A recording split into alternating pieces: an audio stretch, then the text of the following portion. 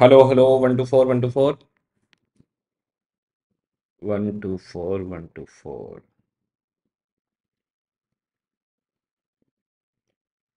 ये जी आपका आ गया।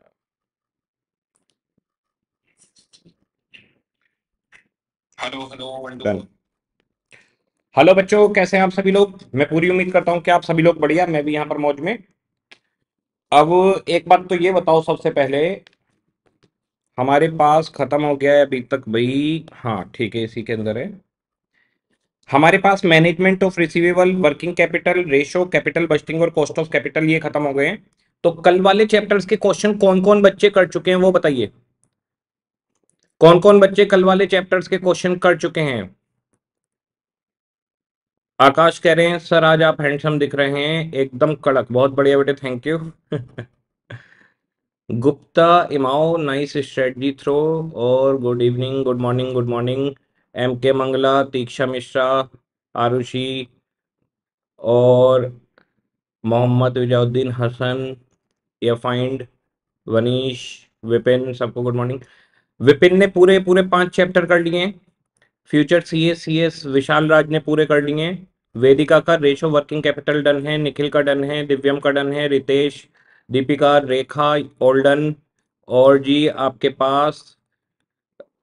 कल सुबह वाले तक हो गए, बाकी आज पूरा कर लेंगे, बहुत बढ़िया। और जी, अब तक के चैप्टर हो गए, रेशो स्टार्ट किया है इवेंटप्रीत ने, प्रशांत ने, बहुत बढ़िया। यानी सारे के सारे बच्चे बिल्कुल फिटफाट चल रहे हैं, एकदम बढ़िया। देखिएगा, आज पूरी एफएम खत्म हो जाएगी, उसके बाद में बचेगा एक थ्योरी वाला पोर्शन। तो जो थ्योरी वाले पोर्शन की बात है, वो मैं आपको क्लियर बता देता हूँ। थ्योरी वाले पोर्शन के अंदर हमारे पास सिंपल सा एक तरीका रहेगा। थ्योरी आती है फाइव टू टेन मार्क्स अगर आ गई तो बाकी उसकी कोई वेटेज नहीं है। और वो थ्योरी बिल्कुल फिक्स एरिया से आती है। एफएम का चैप्टर नंबर वन और टू है बेस इंट्रोडक्शन ऑफ़ एफएम और दूसरा है सोर्सेज ऑफ़ फाइनेंस तो वो मैं एक सिंगल वीडियो डाल दूँगा आठ नौ तारीख को, जैसे बूस्टर दोनों खत्म हो जाएँगे, उससे आपका काम खत्म हो जाएगा। उसमें सारे जितने भी स्टडी मैट के एमसीक्यू हैं, वो भी डिस्कस हो जाएँगे। तो ये पूरा का पूरा एफएम आप मान के चलिए कि आज आपका दी एंड हो जाएगा। इसके क्वेश्चन कर लीजिए, फिर जितनी बार रिविजन कर सकते हैं, करिए। इससे शानदार, इससे आसान रिविजन नहीं हो सकता। जिसमें कंसेप्ट भी पूरे हो जाएँ, जिसमें इंपॉर्टेंट क्वेश्चन सारे हो जाएँ, जिसमें सारी एडजस्टमेंट हो जाएँ। उसके अलावा आपको अगर लगता है कि कुछ और एडिशनल क्वेश्चन आपको प्रैक्टिस करने और आपके पास टाइम है तो ऑब्वियसली आपको करने चाहिए। जैसे मान लीजिए बच्चों को लगता है कि हम स्टडी मैट को गो थ्रू करना चाहते हैं, बिल्कुल करिए। बच्चों को लगता है कि आरटीपी एमटीपी ये सब पुराने वाले भी उठा के करने हैं, बिल्कुल करिए। ये आपको बिल्कुल कर लेना चाहिए, इसमें कोई दो राय नहीं है। ठीक है। तो हम लोग शुरू करते हैं आज।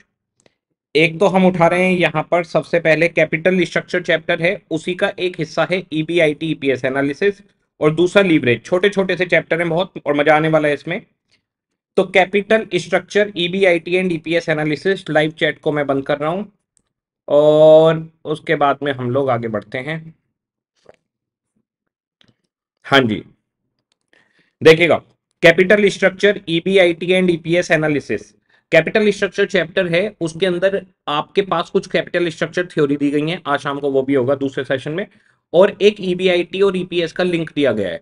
तो ईबीआईटी ईपीएस वाले हिस्से से और कैपिटल स्ट्रक्चर थ्योरी के हिस्से से, दोनों में से किसी एक हिस्से से एक क्वेश्चन ज़रूर बनता है। तो chapter number one capital structure EBIT EPS वाला, और दूसरा कैपिटल स्ट्रक्चर थ्योरी एक चैप्टर और करेंगे हम। इन दोनों में से किसी में से एक क्वेश्चन ज़रूरी आएगा। कई बार दोनों में से आ जाता है। तो हमने दोनों को सेपरेट किया हुआ है। स्टडी मैट में ये ईबीआईटी ईपीएस एनालिसिस आपको कैपिटल स्ट्रक्चर चैप्टर के अंदर मिलेगा। तो ईबीआईटी ईपीएस एनालिसिस में हमें कुछ नहीं करना। हमारे पास यहाँ पर सिनेरियो ये बनेगा कि देखो सोर्सेज ऑफ़ फंड है। ये हमारे पास बिज़नेस है। ठीक है जी। बिज़नेस के अंदर हमें पैसा लगाना है एप्लीकेशन ऑफ़ फंड तो एप्लीकेशन ऑफ़ फंड में एक अमाउंट आएगी कि इतने पैसे इन्वेस्ट करने हैं। कहाँ इन्वेस्ट करने हैं? इससे हमारा कोई लेना देना नहीं है। वो फिक्स्ड एसेट्स में, वो प्रोजेक्ट में किसी में ही लग सकते हैं। तो जैसे पचास लाख रुपए लगाने हैं हमें एक प्रोजेक्ट के अंदर, ये डेट आपको मिलेगा। और इस पर रिटर्न कितनी आएगी? आरओआई कितना आएगा? रिटर्न ऑन कैपिटल एम्प्लॉयड वो भी क्वेश्चन आपको बता देगा। जैसे आरओआई आ रही है ट्वेंटी परसेंट यानी ईबीआईटी आपका दस लाख रुपए आएगा। तो हमारे को पचास लाख रुपए कहीं पर लगाने हैं, जिसमें हमारे पास दस लाख रुपए का ईबीआईटी आएगा। इस चैप्टर के अंदर हमें यह देखना है कि अब हम इस पचास लाख को अरेंज कैसे करें? तो हमारे पास दो तीन अलग अलग कैपिटल स्ट्रक्चर के ऑप्शन होंगे। कैपिटल स्ट्रक्चर वन, कि सारा पैसा इक्विटी से मंगवा लो। कैपिटल स्ट्रक्चर टू, कि भाई पैसा इक्विटी और डेट से फिफ्टी फिफ्टी मंगवा लो। कैपिटल स्ट्रक्चर थ्री कि भाई इक्विटी और प्रीफरेंस से फिफ्टी फिफ्टी मंगवा लो। तो ऐसे अलग अलग कैपिटल स्ट्रक्चर के ऑप्शन होंगे। हमें सिंपली क्या करना है? जैसे तीन कैपिटल स्ट्रक्चर के ऑप्शन है तो ईबीआईटी से शुरू करना है और ईपीएस तक पहुँचना है। कई बार पी रेशो भी दिया जाएगा। पी रेशो दिया जाएगा तो एमपीएस तक हम पहुँच जाएँगे। तो हमारे पास हम ये चेक करेंगे कि ईपीएस और एमपीएस कहाँ पर ज़्यादा है। तो आप ईबीआईटी से शुरुआत करेंगे ईपीएस तक पहुँचेंगे तीनों ऑप्शन में। पी रेशो दिया होगा तो एमपीएस तक पहुँचेंगे अगर हम एमपीएस तक पहुँच रहे हैं तो हम ये देखेंगे कि किसका किस कैपिटल स्ट्रक्चर में एमपीएस ज़्यादा आ रहा है जिसमें एमपीएस ज़्यादा आएगा उसे सेलेक्ट करेंगे और अगर एमपीएस तक नहीं पहुँच रहे ईपीएस तक ही खत्म हो रहा है तो ईपीएस तक क्वेश्चन ने अगर बोला है तो फिर हम ये देखेंगे कि ईपीएस किस प्लान में ज़्यादा है और हम वहाँ पर जिस प्लान का ईपीएस ज़्यादा होगा उसे सेलेक्ट कर लेंगे यहाँ पर आपको ध्यान रखना है कि ईपीएस के लिए एग्जामिनर बोलता है कि हमारा ऑब्जेक्टिव प्रॉफिट मैक्सिमाइजेशन है और एमपीएस के लिए बोलता है वेल्थ मैक्सिमाइजेशन है। तो अगर वेल्थ मैक्सिमाइजेशन हमारा ऑब्जेक्टिव है तो एमपीएस तक जाएँगे। अगर प्रॉफिट मैक्सिमाइजेशन हमारा ऑब्जेक्टिव है तो ईपीएस तक जाएँगे। तो हमारे सामने एक इन्वेस्टमेंट अपॉर्चुनिटी होगी, उसकी रिटर्न हमें बताई जाएगी। हमें अलग अलग कैपिटल स्ट्रक्चर में सिर्फ़ ये चेक करना है कि हायर ईपीएस और एमपीएस किस प्लान में है। तो आपका जो स्टेटमेंट दिखेगा, वो कैसे दिखेगा?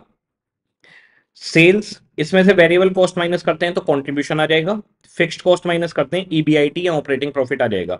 जनरली क्वेश्चन ईबीआईटी से शुरू होगा, कई बार सेल से भी स्टार्ट हो सकता है। इसमें से हम इंटरेस्ट माइनस करेंगे ईबीटी आ जाएगा टैक्स माइनस करेंगे ईएटी आ जाएगा। प्रीफरेंस शेयर है तो प्रीफरेंस डिविडेंड माइनस करिए। Earning for equity share holder आ जाएगा। नंबर ऑफ़ शेयर से डिवाइड करेंगे ईपीएस आ जाएगा। पी रेशो से मल्टीप्लाई करेंगे तो आप एमपीएस पर पहुँच जाएँगे। ठीक है। हमारे पास एमपीएस का फॉर्मूला रहेगा EPS multiply by P ratio number of share निकालने कैसे हैं? कई बार तो कंपनी नई स्टार्ट होगी तो नई स्टार्ट होगी तो जितने भी नंबर ऑफ़ शेयर आप इशू कर रहे हो वो आ जाएँगे। कई बार एग्जिस्टिंग कंपनी होगी तो जो एग्जिस्टिंग शेयर्स हैं और न्यू शेयर्स हैं, दोनों को जोड़ लीजिए। मान लीजिए एक लाख शेयर पहले से हैं फिफ्टी थाउज़ेंड शेयर और इशू करे तो one lakh fifty thousand share आपके पास हो गए। नए शेयर्स कितने इशू करने ये कैसे निकालेंगे हम लोग? जितना भी फंड आपको इक्विटी से चाहिए, मान लो इक्विटी से मेरे को पच्चीस लाख रुपए चाहिए, ठीक है। डिवाइडेड बाई आप कर देंगे कि एक शेयर का इशू प्राइस कितना है। जैसे मान लो एक शेयर का इशू प्राइस पच्चीस रुपए है तो एक लाख शेयर आपको इशू करने पड़ेंगे।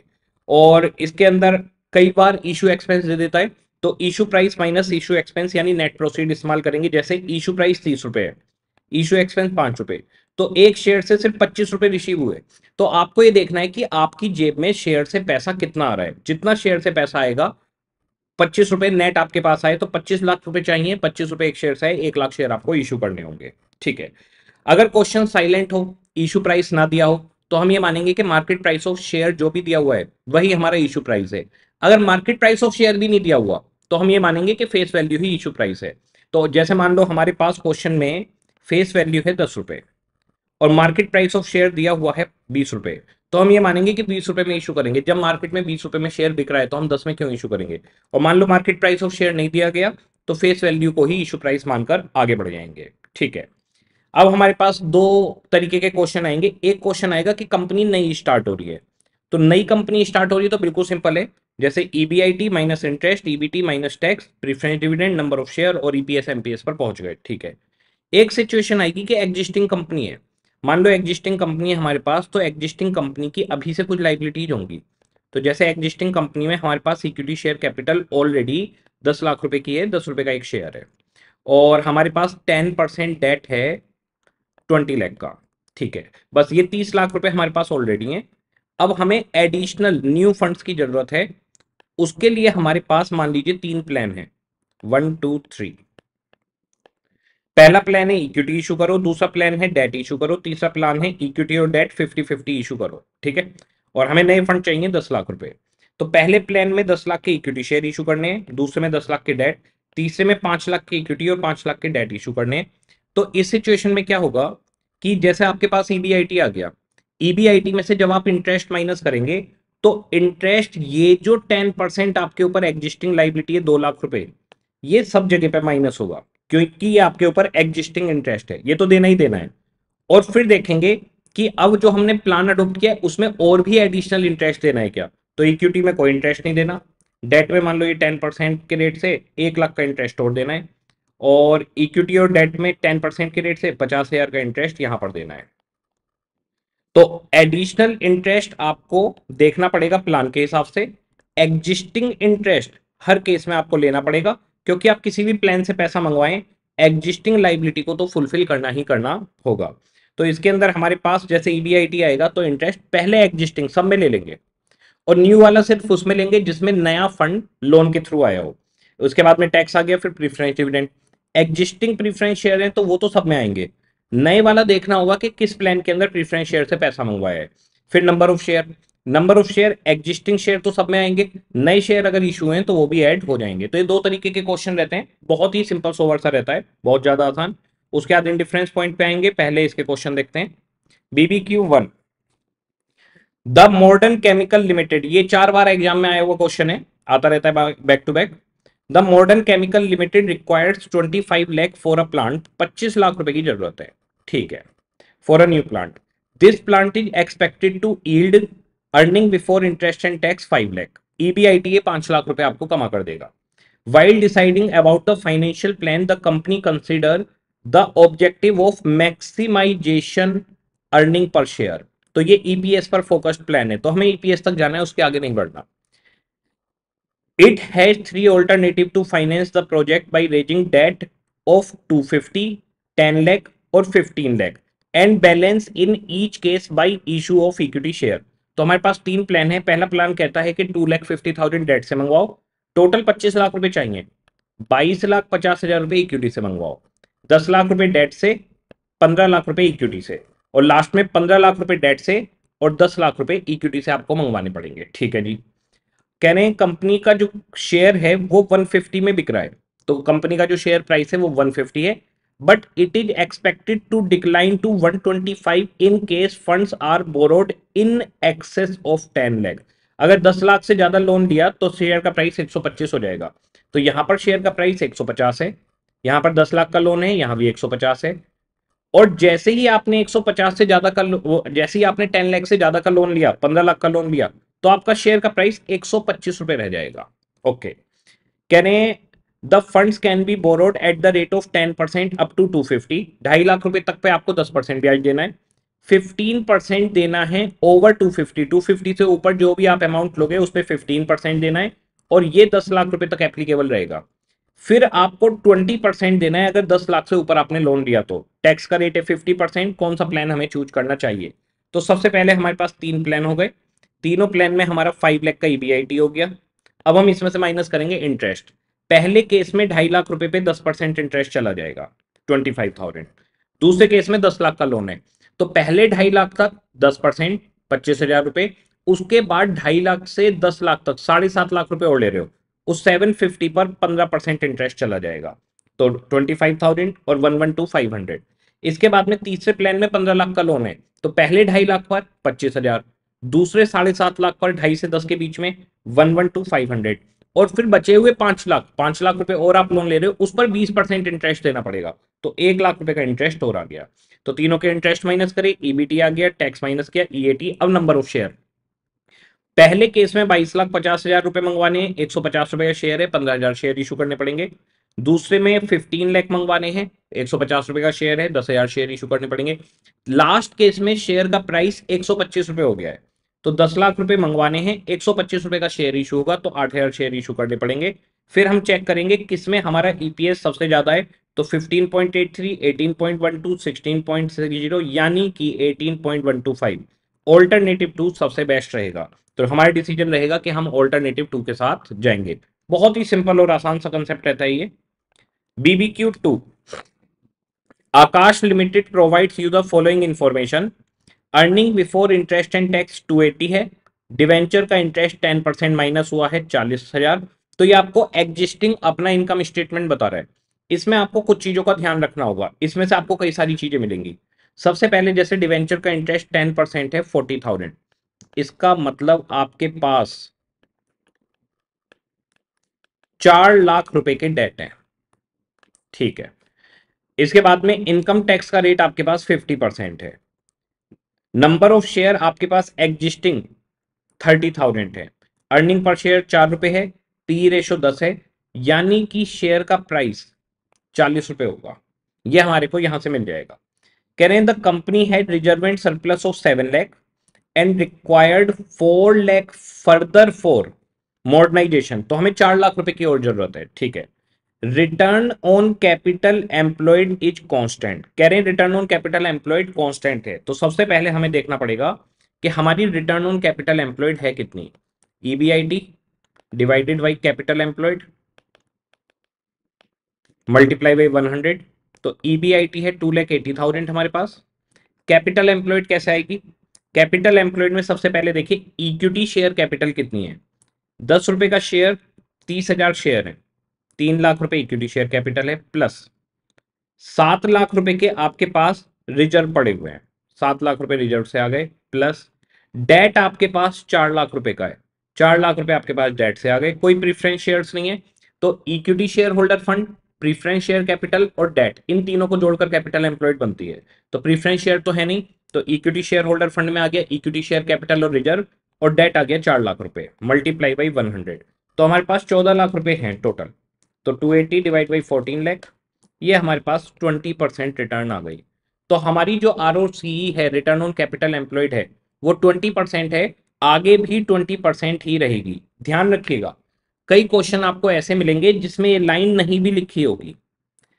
अगर क्वेश्चन में आपको नहीं बताया हुआ कि नए फंड पर कितनी रिटर्न मिलनी है, या नए फंड्स आने के बाद हमारी रिटर्न क्या हो जाएगी तो भी हम हमेशा ये एजम्पन लेंगे कि जो रिटर्न ऑन कैपिटल एम्प्लॉयड हमें अभी मिल रही थी उतनी रिटर्न ऑन कैपिटल एम्प्लॉयड हमें आगे भी मिलेगी।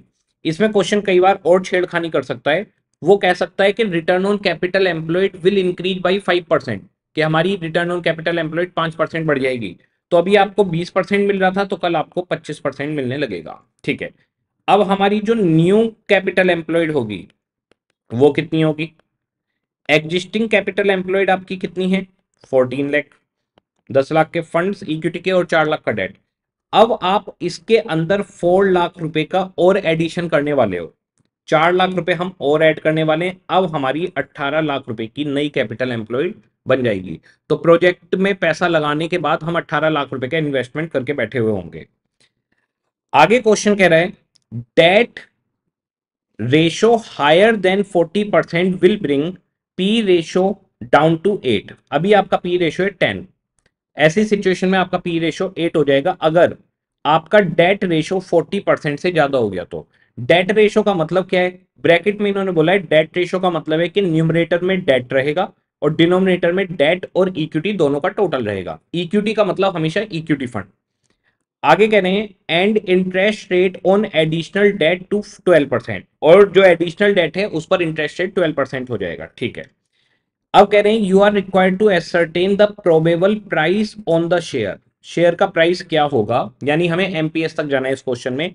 If additional capital raised at debt, if amount raised by issuing equity share at ruling market price.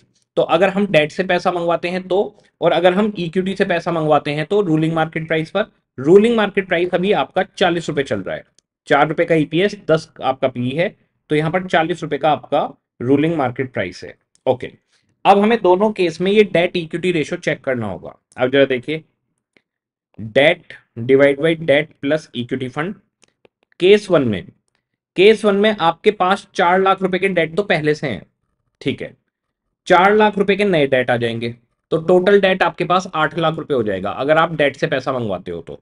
Divided by date कितना हो गया? एट लैख इक्विटी फंड कितने हैं? दस लाख। तीन लाख रुपए के कैपिटल है और सात लाख रुपए के रिज़र्व है। तो दस लाख रुपए हो गए। मल्टीप्लाई बाई वन हंड्रेड तो eight lakh divided by eighteen lakh ये हो गया forty four point four four percent तो आपका जो डेट रेशो है वो फोर्टी परसेंट से ऊपर चला गया। इस सिचुएशन में आपका पी रेशो एट होगा और रेट ऑफ़ इंटरेस्ट आप पर ट्वेल्व परसेंट लगेगा नए डेट पर। ठीक है। सेकेंड केस सेकेंड केस जब हम इक्विटी से पैसा मंगवाएँगे तो इक्विटी से पैसा मंगवाएँगे तो आपका डेट इक्विटी रेशो फिर से हमें चेक करना पड़ेगा। आपका डेट कितना है? फोर लैख एग्जिस्टिंग नया डेट कितना है? ज़ीरो पैसा तो हम इक्विटी से मंगवा रहे हैं तो नया डेट कोई भी नहीं है।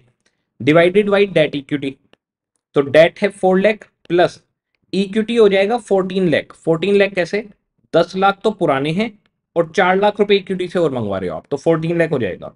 मल्टीप्लाई बाई वन हंड्रेड तो आपके पास चार डिवाइड बाई एटीन यहाँ पर रेशो आ गया twenty two point two two percent तो ये फोर्टी परसेंट से कम है तो यानी पी रेशो यहाँ पर टेन का टेन ही रहेगा। तो यहाँ पी रेशो टेन रहेगा, कोई दिक्कत इसमें नहीं है। तो इस क्वेश्चन के अंदर हमारे को तीन चीज़ें करनी पड़ती हैं। दस नंबर का क्वेश्चन रहता है ये। सबसे पहले तो हमें निकालना पड़ता है रिटर्न ऑन कैपिटल एम्प्लॉयड फिर हमें डेट इक्विटी रेशो चेक करना पड़ता है सारे प्लान्स में कि भाई डेट इक्विटी रेशो क्या मेंटेन हो रहा है। ये दो चीज़ें करने के बाद क्वेश्चन स्टार्ट होगा। अब बड़ा सिंपल है क्वेश्चन के अंदर। आ जाइए, शुरू करते हैं। दो प्लान हो गए हमारे पास डेट से पैसा और इक्विटी से पैसा। आपकी टोटल कैपिटल एम्प्लॉयड हो गई अट्ठारह लाख रुपए, बीस percent return on capital employed है। अट्ठारह लाख की कैपिटल एम्प्लॉयड बीस percent return three sixty three sixty आ गया। अब हमारे पास जो इंटरेस्ट है, चालीस हज़ार रुपये एग्जिस्टिंग वो दोनों केस में जाएगा। तो चालीस हज़ार का इंटरेस्ट तो दोनों में माइनस हो गया। नया वाला इंटरेस्ट सिर्फ़ तब जाएगा जब आप पैसा डेट से मंगवाओ। तो डेट वाले केस में आपने चार लाख रुपए नए मंगवाए हैं। और इंटरेस्ट का रेट ट्वेल्व परसेंट है। तो ट्वेल्व परसेंट चार लाख रुपए पे फोर्टी एट थाउज़ेंड ये चले गए।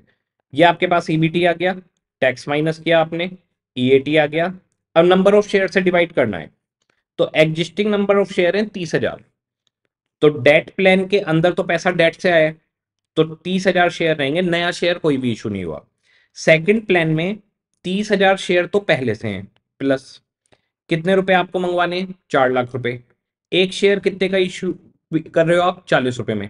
तो कितने शेयर और इशू करने पड़ेंगे? दस हज़ार शेयर तो यहाँ पर आपकी फोर्टी थाउज़ेंड के नंबर ऑफ़ शेयर्स आ जाएँगे। ये इनका ईपीएस आ गया पी रेशो यहाँ पर एट और यहाँ पर टेन क्योंकि यहाँ पर forty four point four four percent debt ratio था। तो इसका पी रेशो एट हो गया था। दूसरे का टेन का टेन रहेगा, उसका twenty two point two two था। मल्टीप्लाई करिए मार्केट प्राइस ऑफ़ शेयर आ गया। इस केस में thirty six point two four और इस केस में चालीस रुपए। अगर क्वेश्चन पूछे कौन सा प्लान बेटर है तो जिसमें मार्केट प्राइस ऑफ़ शेयर ज़्यादा है, उसी प्लान को हम लोग चूज़ करेंगे। तो चालीस रुपए वाला प्लान चूज़ हो जाएगा, यानी हमें पैसा इक्विटी से मंगवाना चाहिए। ये दो क्वेश्चन हैं जो पूछे जाते हैं। एक ये क्वेश्चन स्टडी मैट के अंदर है और इसका सॉल्यूशन वहाँ पर अधूरा दिया गया है, लेकिन इससे पहले हमें जाना पड़ेगा इनडिफरेंस पॉइंट पर। आ जाइए, अब इनडिफरेंस पॉइंट के कंसेप्ट पे चलते हैं। इनडिफरेंस पॉइंट इनडिफरेंस पॉइंट का मतलब होता है कि ऐसा ईबीआईटी e जिसमें ईपीएस e दो अलग अलग ऑप्शंस में सेम आ जाए। तो बड़ा सिंपल सा रहता है EPS under option one equal to EPS under option two रख दीजिए। ईपीएस निकालने का तरीका क्या है हमारे पास? EBIT minus interest one minus tax minus preference dividend divide by number of share तो प्लान वन का सामने रख दीजिए और सामने प्लान टू का रख दीजिए। इस क्वेश्चन के अंदर एक छोटा सा पॉइंट आता है, वो मैं आपको बता देता हूँ। जैसे capital structure one capital structure two ये हमारे पास दो स्ट्रक्चर है। यहाँ पे है पैसा इक्विटी से दस लाख रुपए, दस रुपए का शेयर है। और डेट है हमारे पास ट्वेल्व परसेंट के रेट से, दस लाख रुपए का यहाँ पर, ठीक है। यहाँ पर इक्विटी से पैसा है पंद्रह लाख रुपए और पाँच लाख रुपए का डेट है। तो बीस बीस लाख रुपए दो कैपिटल स्ट्रक्चर से हमें मंगवाने हैं। टैक्स का रेट है मान लीजिए फिफ्टी अब क्वेश्चन आपसे कह रहा है इंडिफरेंस पॉइंट निकालो। ठीक है जी। तो बड़ा सिंपल सा रहेगा। E B I T minus I one minus tax preference dividend है नहीं number of share under one E B I T minus interest one minus tax number of share under option two तो E B I T पहले case में interest बताइए कितना हो गया? बारह परसेंट दस लाख का, एक लाख बीस हज़ार। One minus tax divide by number of share हो गए दस लाख रुपए कैपिटल दस रुपए का एक एक lakh share EBIT minus interest पाँच लाख का ट्वेल्व परसेंट हो गया sixty thousand one minus tax divide by number of share हो गए वन फिफ्टी ठीक है जी. तो इस तरह से आप लोग लिखेंगे। अगर क्वेश्चन में प्रीफरेंस डिविडेंड नहीं है तो बड़ा सिंपल सा होता है। यहाँ के वन लैख से यहाँ का वन फिफ्टी ये हो गया टू ये हो गया थ्री फाइव के टेबल से दोनों कट जाएँगे। तो यहाँ पर हो गया फाइव टू जो टेन फाइव थ्री जो फिफ्टीन वन माइनस टैक्स को वन माइनस टैक्स से कैंसिल कर देंगे। अब बड़ा सिंपल है। थ्री को सामने लाकर मल्टीप्लाई कर दीजिए और टू को वहाँ पर ले जाइए। थ्री यहाँ पर आ जाएगा और टू यहाँ पर आ जाएगा। तो three B I T minus three sixty equals to two B I T minus one twenty okay यहाँ पर हमारे पास three B I two E B I T सामने आकर माइनस हो गया, ये सामने जाकर ऐड हो गया। तो E B I T equal to two lakh forty thousand ये हमारा इंडिफरेंस पॉइंट आ गया। तो इस तरह से इसे सोल्व करते हैं। पाँच नंबर देता है इस चीज़ के। अब हमारे पास जैसे एक तो आ गया ये वाला। इसमें होता है कोर्स ऑफ़ एक्शन कि हमें कौन सा प्लान सेलेक्ट करना चाहिए। कई बार क्वेश्चन पूछ लेता है। कई बार तो इंडिफरेंस पॉइंट पर आपको खत्म कर देगा। कई बार क्या कहेगा? कहेगा कोर्स ऑफ़ एक्शन बताओ। तो कोर्स ऑफ़ एक्शन हमारे पास बड़ा सिंपल सा रहता है। कोर्स ऑफ़ एक्शन अगर आपका ईबीआईटी e जो भी आपका ईबीआईटी e है, वो इंडिफरेंस पॉइंट से कम है, यानी यहाँ पर आ रहा है दो लाख चालीस हज़ार, इससे कम है। दूसरा, अगर आपका ईबीआईटी e दो लाख चालीस हज़ार के बराबर है, और तीसरा, आपका ईबीआईटी दो लाख चालीस हज़ार से ज़्यादा है। ये तीन सिचुएशन हो सकती हैं कि हम दो चालीस से कम कमा रहे हैं, दो चालीस या दो चालीस से ज़्यादा। तो अगर आप दो चालीस से कम कमा रहे हैं तो आपकी कमाई कम है तो आप बर्डन कम लीजिए तो आप उस प्लान को लीजिए जिसमें फाइनेंशियल ब्रेक इवन पॉइंट कम हो, यानी जिसका फाइनेंशियल खर्चा कम हो। तो फाइनेंशियल खर्चा अगर हम देखें तो पाँच लाख रुपए पर बारह परसेंट साठ हज़ार का इंटरेस्ट था और यहाँ पर दस लाख रुपए पे बारह परसेंट वन ट्वेंटी का इंटरेस्ट था। तो इस प्लान में बर्डन कम होगा, क्योंकि ब्याज का खर्चा कम है। तो जिस प्लान में आपके ऊपर खर्चा कम है, उस पर जाइए। तो 240 से कम कमा रहे हैं तो प्लान टू पे जाइए, क्योंकि उसकी फाइनेंशियल फिक्स्ड कॉस्ट कम है। इसे हम कहते हैं फाइनेंशियल फिक्स्ड कॉस्ट जिसकी कम हो। या हम कहते हैं जिसका फाइनेंशियल ब्रेक इवन पॉइंट कम हो। अगर ईबीआईडी e 240 के बराबर है तो प्लान वन और टू में से कोई भी आप ले सकते हैं। कोई दिक्कत नहीं है। और अगर 240 से ज़्यादा है तो उस प्लान पे जाइए जिसकी फाइनेंशियल फिक्स्ड कॉस्ट ज़्यादा हो। जिसकी फाइनेंशियल फिक्स्ड कॉस्ट ज़्यादा होगी, उसे हम सेलेक्ट करेंगे। तो ये हमारे पास ईबीआई टीपीएस के अंदर कंसेप्ट रहता है, बड़ा सिंपल सा है। अभी फाइनेंशियल बीपी को भी डिस्कस करेंगे हम। और एक मैं आपको प्रीफरेंस शेयर्स वाला और बताता हूँ कैसे करते हैं। इस चीज़ को ध्यान रखिएगा, अगर सिर्फ़ लोन है प्रीफरेंस डिविडेंड नहीं है तो टैक्स से टैक्स कैंसिल हो जाएगा, दोनों इक्वेशन आराम से निकल जाएँगी। अगर प्रीफरेंस डिविडेंड होता है तो टैक्स से टैक्स कैंसिल नहीं होता। बच्चे कैलकुलेशन में गलती करते हैं इसमें। जैसे capital structure one, capital structure two, दो कैपिटल स्ट्रक्चर है हमारे पास। इक्विटी शेयर कैपिटल हमारे पास है दस रुपए की फेस वैल्यू और हमारे पास fifteen percent preference share capital है। ठीक है जी। अब मान लीजिए इक्विटी शेयर कैपिटल है दस लाख प्रीफरेंस से कुछ नहीं, यहाँ पाँच लाख और पाँच लाख। टोटल दस दस लाख रुपए दो कैपिटल स्ट्रक्चर में आ गए हमारे पास। टैक्स रेट है हमारे पास फिफ्टी परसेंट अब देखिए क्वेश्चन ने कहा इंडिफरेंस पॉइंट निकालो। तो ईबीआईटी माइनस इंटरेस्ट जो है नहीं ज़ीरो है one minus tax divide by N one equals to E B I T minus interest है नहीं one minus tax minus preference dividend divide by N two दूसरे वाले केस में प्रीफरेंस डिविडेंड आएगा क्योंकि प्रीफरेंस शेयर कैपिटल है। अब हमारे पास E B I T minus interest तो हो गया zero one minus tax number of share हमारे पास हो गए एक लाख शेयर और EBIT minus zero one minus tax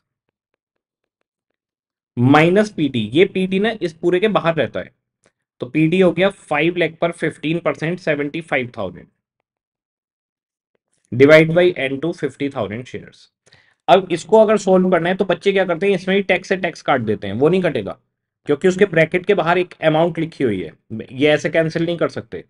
तो ये हो गया फाइव वन जा फाइव फाइव टू जा टेन अब ये टू सामने जाकर मल्टीप्लाई होना है और वन यहाँ पर आकर मल्टीप्लाई होना है। तो पहले इस इक्वेशन को देखते हैं। E B I T multiply by point five तो यहाँ हो गया point five E B I T बाकी कुछ नहीं है इस तरफ़। इक्वस टू सामने की तरफ़ हो गया। Two multiply by E B I T multiply point five तो point five E B I T और माइनस के पिछहत्तर हज़ार रुपए। इसमें टू की मल्टीप्लाई आप लोग कर दीजिए। तो यहाँ पर point five E B I T minus seventy five thousand है। तो point five E B I T equal to ये हो गया E B I T minus एक लाख पचास हज़ार। ई बी आई टी सामने आकर माइनस हो जाएगा तो माइनस का point five E B I T equal to minus का वन फिफ्टी। माइनस से माइनस कैंसिल, पॉइंट फाइव जाके डिवाइड हो जाएगा सामने। B I T three lakh ये हमारे पास निकलेगा। तो ध्यान रखना है प्रीफरेंस शेयर में आमने सामने टैक्स से टैक्स कैंसिल नहीं होगा, लेकिन डेट के केस में हो जाएगा। तो ये गलती बच्चे करते हैं, फिर उनका इंडिफरेंस पॉइंट का आंसर नहीं निकलता, फिर कहते हैं, अरे सर, ये क्या हो गया? हमारा तो इंडिफरेंस पॉइंट का आंसर आ ही नहीं रहा। तो इन डिफरेंस पॉइंट में बड़ा सिंपल है, दोनों के ईपीएस सामने रख दीजिए, एक दूसरे के सोल्व करिए आंसर आ जाएगा। इन डिफरेंस पॉइंट ऐसे नज़र आता है आपको कि जैसे इक्विटी प्लान है, वो सीधा चला जा रहा है डेट प्लान थोड़ी देर बाद आपको ईपीएस देना शुरू करेगा। ये ईपीएस है। इक्विटी प्लान एक रुपया भी कमाएगा तो ईपीएस देना शुरू कर देगा, क्योंकि उसके ऊपर कोई बर्डन नहीं होता। ईबीआईटी मान लो, एक रुपया आया। इंटरेस्ट है ही नहीं। ईबीटी एक रुपया हो गया। टैक्स मान लो फिफ्टी पैसे चला गया। फिफ्टी पैसे बचे। प्रीफरेंस शेयर कुछ है ही नहीं। बचे फिफ्टी पैसे।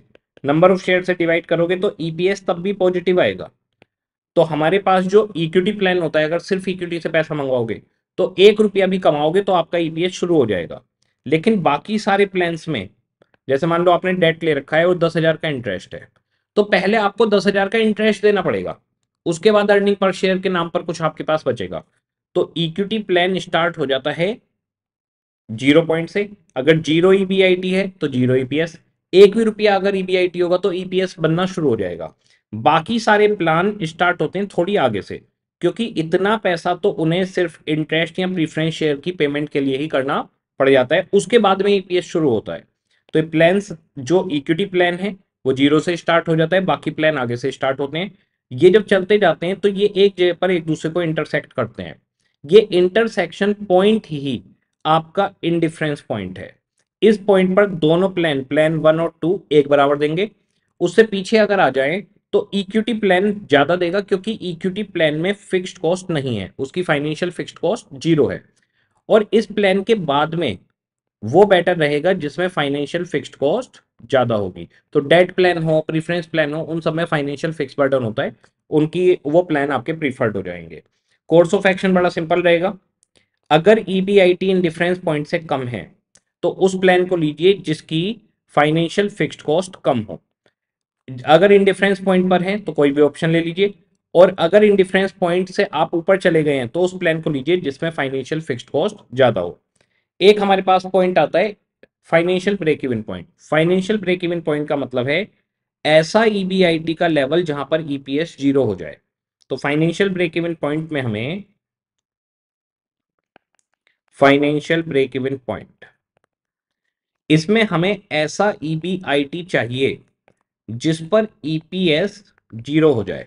अब जरा देखिए ईपीएस का फॉर्मूला हमारे पास क्या है? EBIT minus I one minus tax minus preference dividend divide by number of share ठीक है। अब हम ये कह रहे हैं कि ये ईपीएस ज़ीरो है। ठीक है जी। Zero equal to N zero में जाके मल्टीप्लाई हुआ तो एन भी ज़ीरो हो गया। अब सामने क्या बचा? E B I T minus I one minus tax minus P D. अब ये माइनस का पी डी सामने आकर प्लस हो जाएगा। P D equal to E B I T minus I one minus tax. अब वन माइनस टैक्स मल्टीप्लाई में हो रहा है, यहाँ सामने जाके डिवाइड में बन जाएगा। P D divided by one minus tax equal to E B I T minus I. अब आई यहाँ पर माइनस में सामने जाकर प्लस हो जाएगा। तो P D divide by one minus tax, I यहाँ पर आकर प्लस में हो गया। Equal to E B I T तो यही फाइनेंशियल ब्रेक इवन पॉइंट का फॉर्मूला है। फाइनेंशियल ब्रेक इवन पॉइंट पर E B I T equal to interest plus preference dividend divide by one minus tax होता है। अगर मान लीजिए इक्विटी प्लान है तो ना इंटरेस्ट होगा ना प्रीफरेंस डिविडेंड तो ईबीआईटी e ज़ीरो ही फाइनेंशियल ब्रेक इवन पॉइंट बन जाएगा। अगर क्वेश्चन में डेट या प्रीफरेंस शेयर्स हैं तो आपको I plus P D divide by one minus tax करना होगा। जिसका financial break even point high होता है, उसके ऊपर फाइनेंशियल बर्डन भी हाई रहेगा हमेशा। तो ये हमारे पास रहेगा इन डिफरेंस पॉइंट के अंदर financial break even point interest plus preference dividend divide by one minus tax ठीक है जी, देखते हैं अब आगे। अब हमारे पास एक क्वेश्चन है स्टडी मैट में और R T P M T P में भी खूब आता है ये।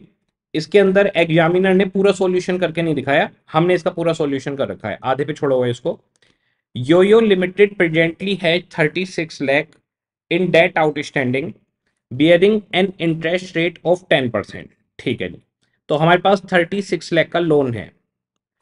Ten percent rate of interest से ये। It wishes to finance forty lakh expansion program अब ये चालीस लाख रुपए और लगाना चाह रहे हैं। Expansion program and is considering three alternatives additional debt twelve percent interest preference share 11 percent dividend and issue equity share at rupees sixteen per share तो हमारे पास, हमें 40 लाख रुपए की ज़रूरत है।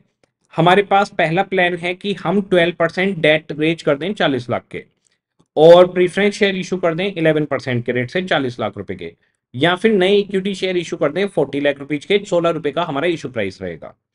Company presently has 8 lakh shares अभी हमारे पास 8 लाख शेयर्स हैं एंड 40 परसेंट टैक्स का रेट है।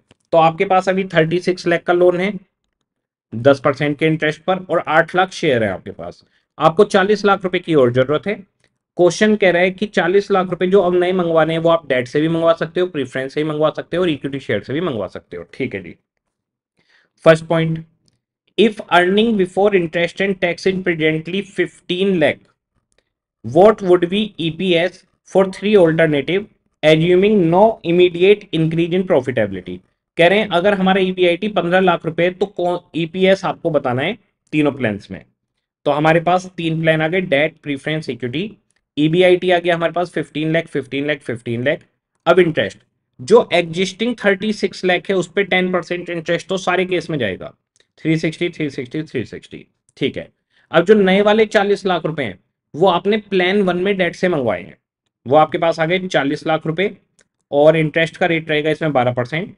तो 40 लाख का 12 परसेंट फोर आ गया आपका। प्रीफरेंस और इक्विटी में कोई नया इंटरेस्ट नहीं जाएगा। प्रीफरेंस और इक्विटी को इंटरेस्ट से कोई लेना देना नहीं है। ये हमारे पास आ गया EBT e 40 percent tax minus करा ई e आ गया। अब प्रीफरेंस डिविडेंड तो एग्जिस्टिंग प्रीफरेंस शेयर्स नहीं है हमारे पास। तो एग्जिस्टिंग प्रीफरेंस डिविडेंड नहीं है।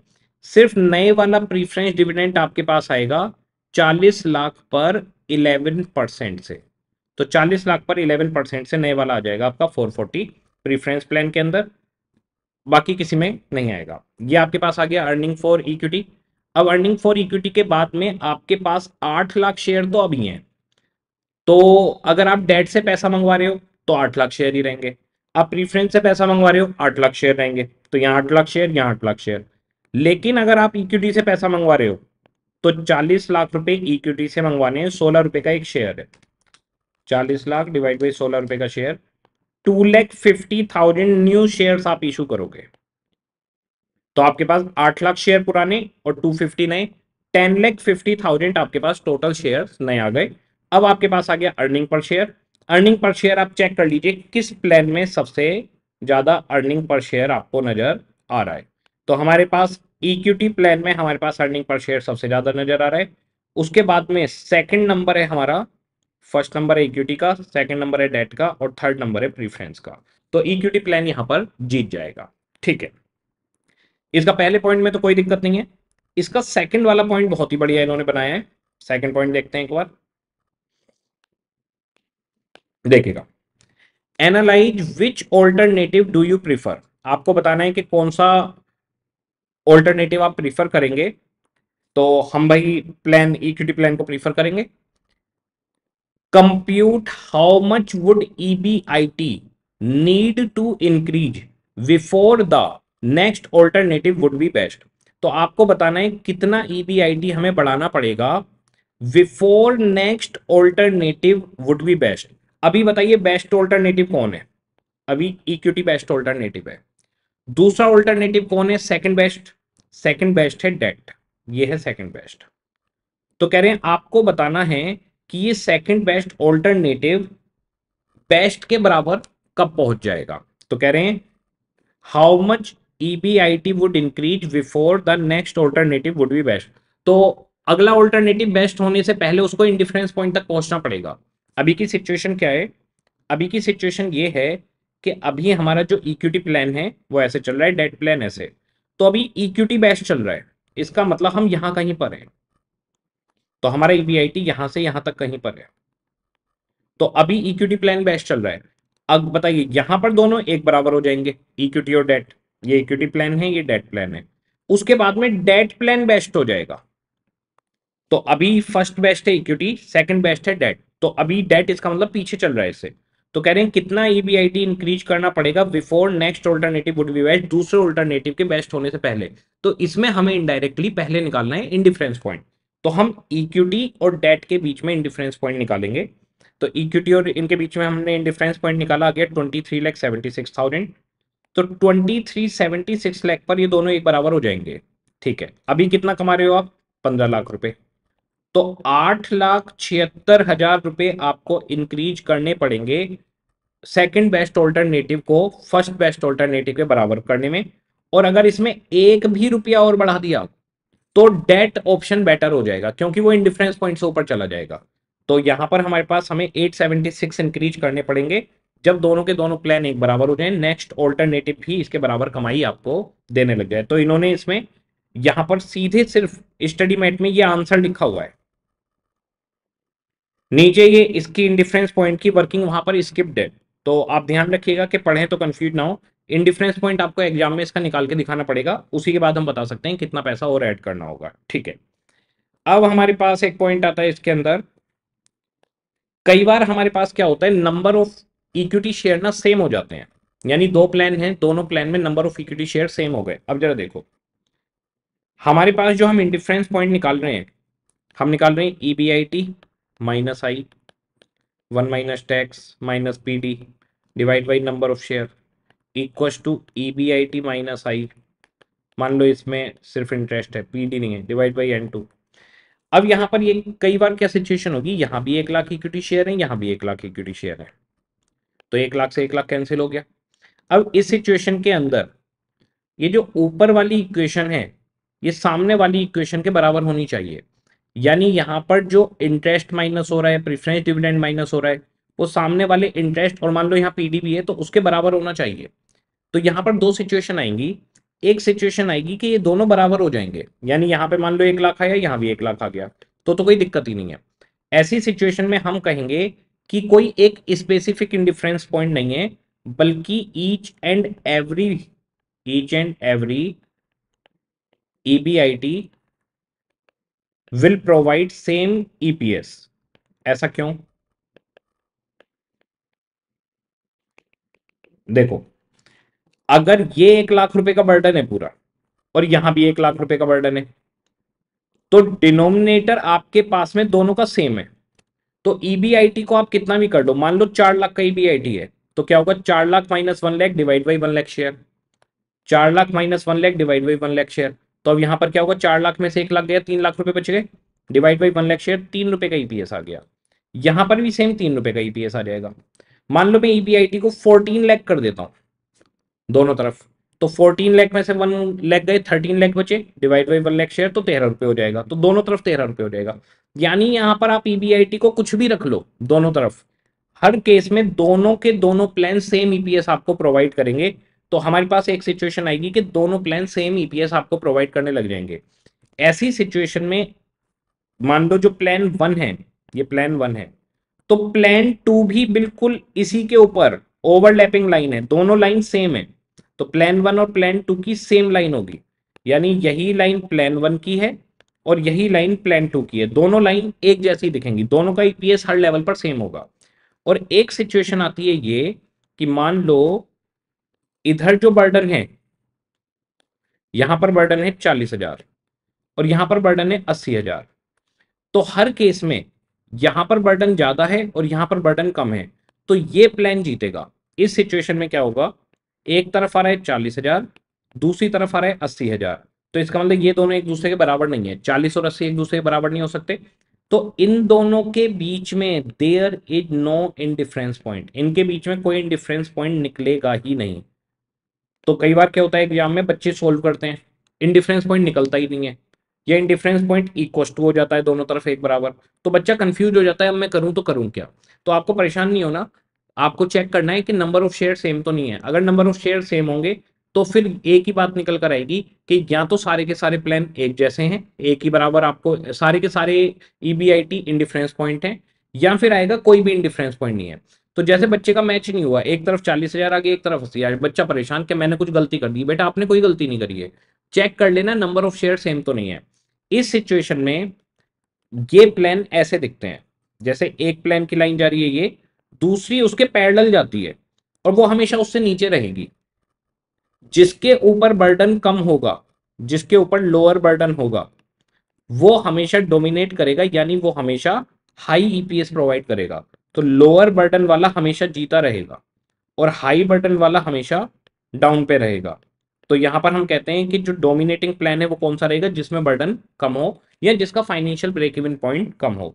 तो एक कंसेप्ट आपके पास ये एग्ज़ाम में ऐसा कुछ करना नहीं पड़ता आपको, सिर्फ़ पता होना चाहिए। Indifference point in case of equal number of share situation one कोई भी ईबीआईटी सेम ईपीएस नहीं पहुँचा रहा, कोई इंडिफरेंस पॉइंट आई नहीं पा रहा हमसे। और जिसमें लो कॉस्ट होगी, वो डोमिनेट करेगा। तो यहाँ पे प्लान कैसे दिखेगा? ऐसे पैरेलल लाइंस दिखेंगी आपको ये। प्लान वन प्लान टू यहाँ पे एलएचएस और आरएचएस एक दूसरे के बराबर नहीं होंगे। तो यहाँ पे डोमिनेट कौन करेगा? प्लान वन डोमिनेट करेगा। जिसकी फाइनेंशियल फिक्स्ड कॉस्ट कम होगी, जिस पर बर्डन कम होगा, वो डोमिनेट करेगा। ठीक है। फिर दूसरा हमारे पास आएगा सिचुएशन नंबर टू जहाँ पर ईच एंड एवरी ईबीआईटी आपको एक जैसा ईपीएस देगा। कोई भी ईबीआईटी ले लो, हर ईबीआईटी इंडिफरेंस पॉइंट है अपने आप में। तो यानी कोई स्पेसिफिक इंडिफरेंस पॉइंट का ईबीआईटी नहीं है, बल्कि सारे ईबीआईटी आपके लिए इंडिफरेंस पॉइंट है। यहाँ पर दोनों प्लान एक ही लाइन नज़र आएँगे तो सिंगल लाइन होगी दोनों प्लान के लिए। प्लान वन भी यही है प्लान टू भी यही है।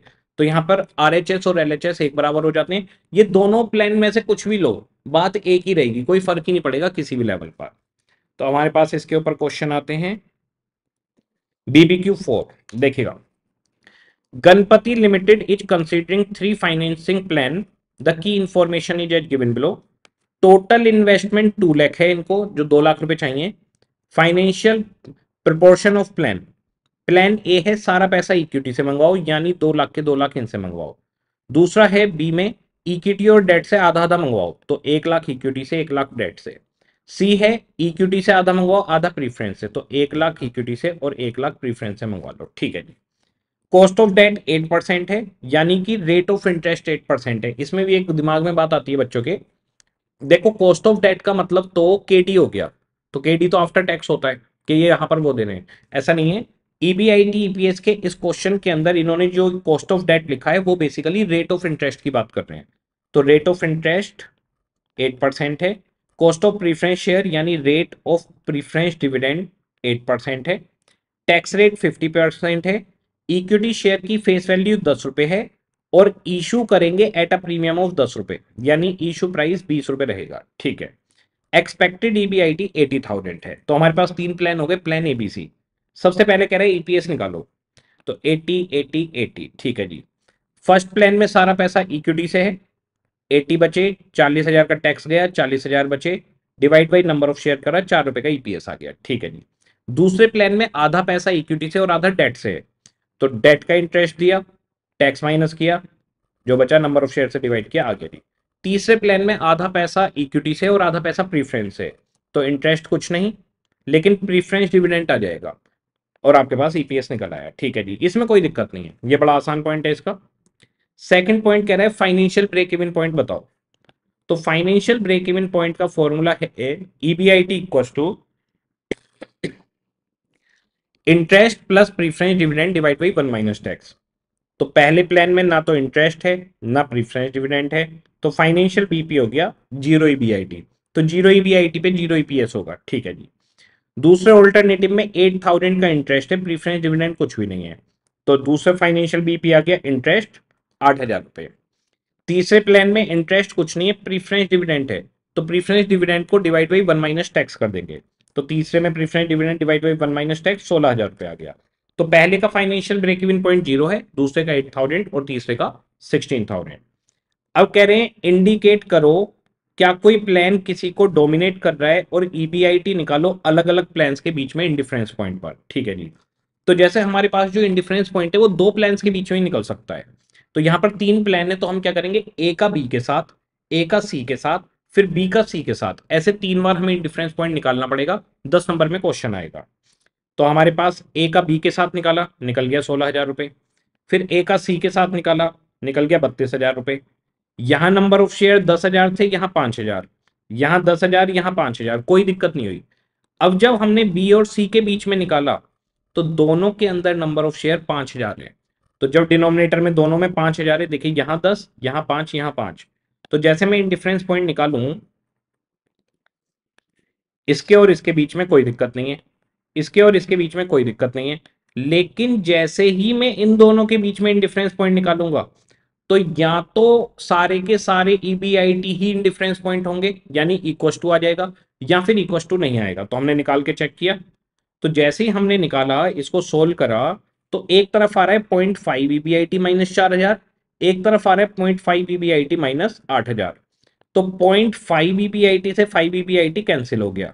माइनस से माइनस कैंसिल हो गया। तो आंसर हो गया चार हज़ार इक्व टू आठ हज़ार।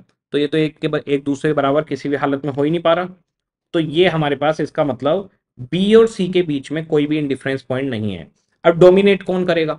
डोमिनेट वो करेगा जिसकी फिक्स्ड कॉस्ट कम होगी। तो फाइनेंशियल फिक्स्ड कॉस्ट किसकी कम है? इसके लिए बड़ा सिंपल सा तरीका है। या तो आप यहीं पे चेक कर लो। यहाँ चार हज़ार माइनस हो रहे हैं, यहाँ आठ हज़ार।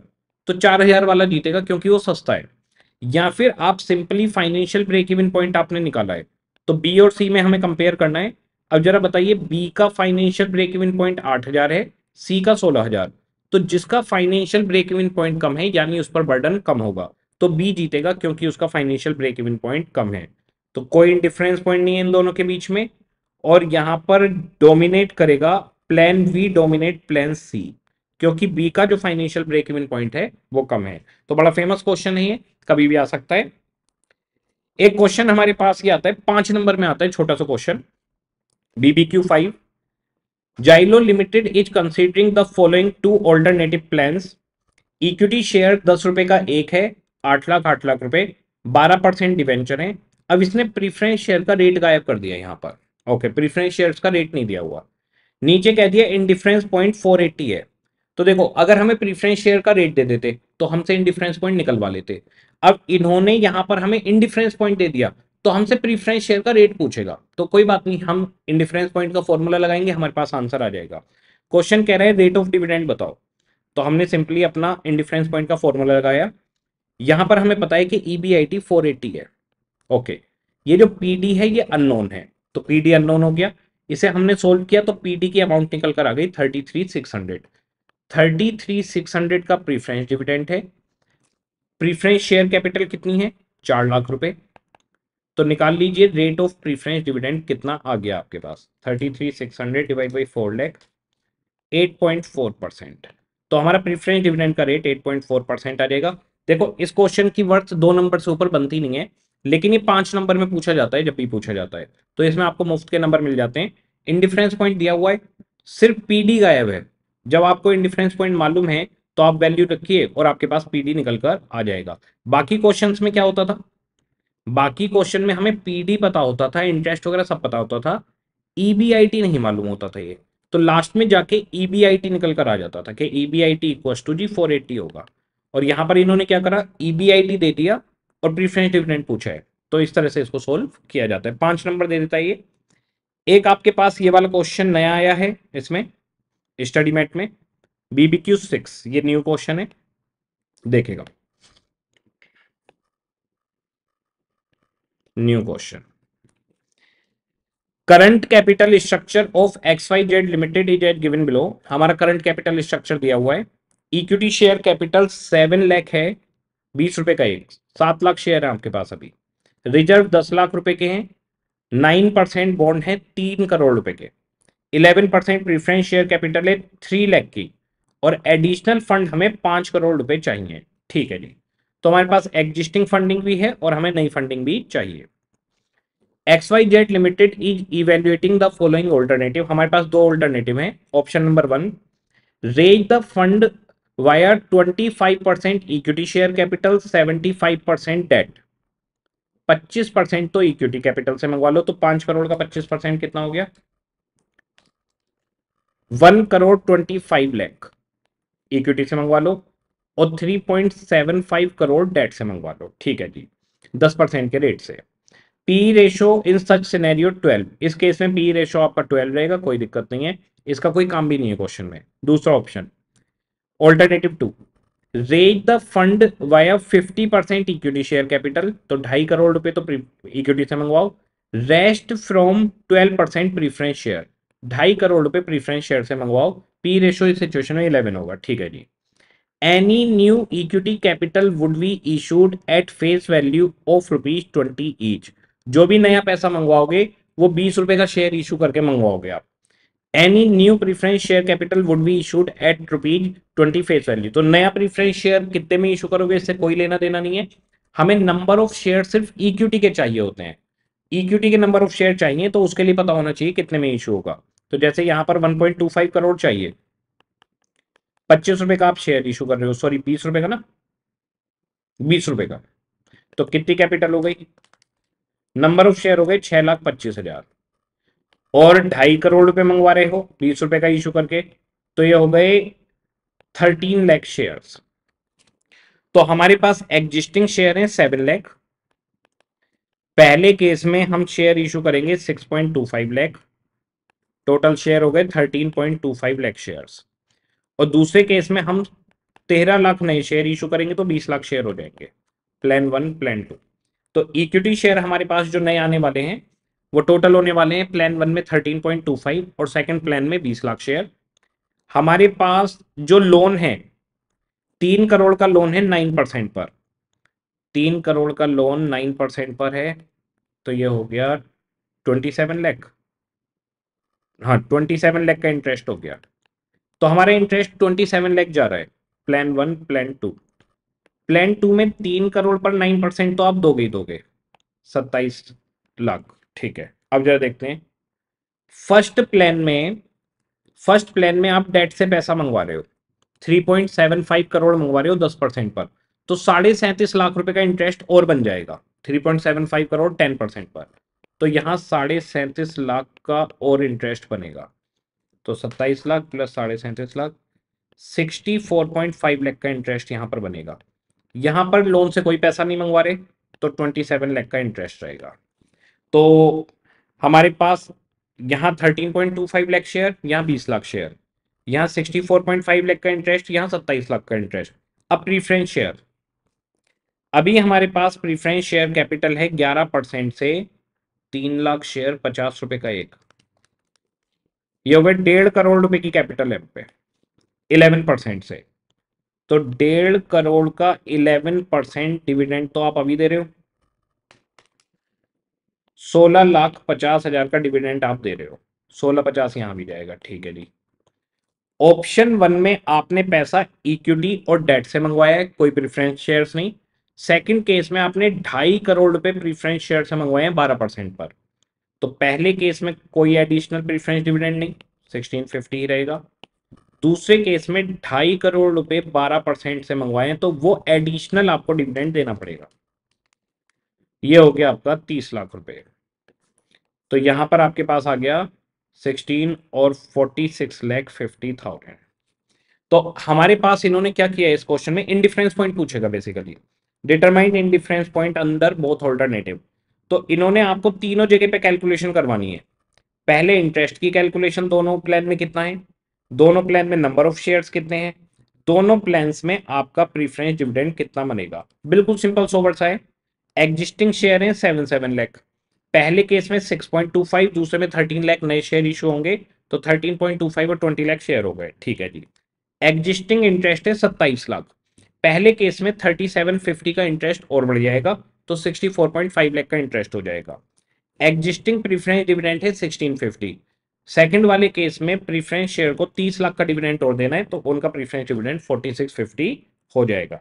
तो यहाँ पर हमारे पास हमें इक्विटी शेयर की कैलकुलेशन, ये 1350 कैसा आ रहा है? ये हो गया जी 1350 मैंने गलत लिख दिया क्या? कितने रुपए चाहिए हमें? ढाई करोड़ रुपए चाहिए, और बीस रुपए का एक है। ढाई करोड़ रुपए।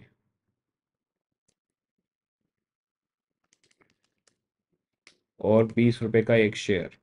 बारह पचास हुए तो ये गलत लिखा हुआ है। बारह पचास। उन्नीस लाख पचास हज़ार शेयर हुए हमारे पास सेकंड में। तो पहले में हो गए हमारे पास शेयर थर्टीन ट्वेंटी फाइव दूसरे में बारह पचास बारह पचास, ये बारह पचास, उन्नीस लाख पचास हज़ार शेयर हुए। ठीक है, यहाँ पर टाइपिंग में गलती है तो ये उन्नीस पचास है, ये बारह पचास है यहाँ पर थर्टीन पचास लिखा होता है ठीक है। तो पहले नंबर ऑफ़ शेयर आ गए, फिर इंटरेस्ट आ गया हमारे पास सिक्सटी फोर फिफ्टी और ट्वेंटी सेवन लेख का।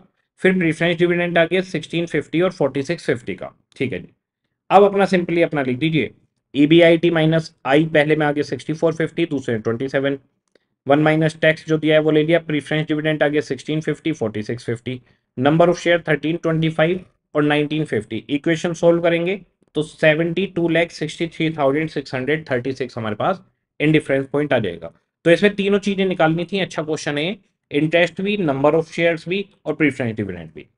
इसके बाद में हमारे पास ये लास्ट क्वेश्चन है। ये क्लैरिकल क्वेश्चन आता है एग्ज़ाम में एक। बिल्कुल क्लैरिकल क्वेश्चन है। इसके अंदर आपसे पाँच बार अलग अलग कैलकुलेशन करवाएगा। क्वेश्चन पढ़ते हैं। R M steels limited requires ten lakh rupees दस लाख रुपए की हमें ज़रूरत है। ठीक है जी। For construction of new plant it is considering three financing plan plan one company में issue one lakh ordinary equity share at rupees ten per share. ठीक है जी, एक लाख शेयर इशू कर दो, दूसरा पचास हज़ार शेयर इशू कर दो, और पाँच हज़ार बॉन्ड सौ रुपए वाले डिवेंचर एट परसेंट के रेट से कर दो। यानी कि पहले वाले केस में दस लाख रुपए इक्विटी से आएँगे, दूसरे वाले केस में पाँच लाख रुपए इक्विटी से प्लस पाँच लाख रुपए डिवेंचर से आएँगे। तीसरे केस में कह रहा है फिफ्टी थाउज़ेंड शेयर इशू कर दो दस रुपए वाले और फाइव थाउज़ेंड प्रीफरेंस शेयर सौ रुपए वाले इशू कर दो एट परसेंट रेट पर। तो थर्ड केस में पाँच लाख रुपए इक्विटी से और पाँच लाख रुपए प्रीफरेंस शेयर से आएगा। तो पहला प्लान है दस लाख रुपए इक्विटी से मंगवाओ। दूसरा प्लान है पाँच पाँच लाख मंगवा लो इक्विटी और डेट से। और थर्ड प्लान है पाँच पाँच लाख रुपए मंगवा लो इक्विटी और प्रीफरेंस से। ठीक है जी। कह रहे हैं if R M steel limited earning before interest and tax are twenty thousand forty thousand eighty thousand one twenty two lakh tax rate fifty percent you are required to compute EPS under each of the three plan अब जरा देखिए, हमारे पास अभी तक क्या होता था? तीन प्लान होते थे, लेकिन ईबीआईटी एक ही होता था। तो हमारे पास तीन कॉलम बन के काम खत्म हो जाता था। अब इसमें पाँच ईबीआईटी दिए हैं और तीन प्लान है तो पंद्रह कॉलम बनेंगे। तो पंद्रह कॉलम एक साथ तो हम बना नहीं सकते। आप सोच के देखिए, पाँच ईबीआईटी हैं अलग अलग और तीन प्लान है। तो एक ईबीआईटी में तीन प्लान फिर दूसरे ईबीआईटी में तीन प्लान तीसरे में तीन प्लान चौथे में तीन प्लान पांचवे में तीन प्लान तो हमारे पास पंद्रह कॉलम बनेंगे क्लैरिकल क्वेश्चन आता है। तो पंद्रह कॉलम हम एक साथ नहीं बना सकते। तो हमने इसके अंदर क्या किया है?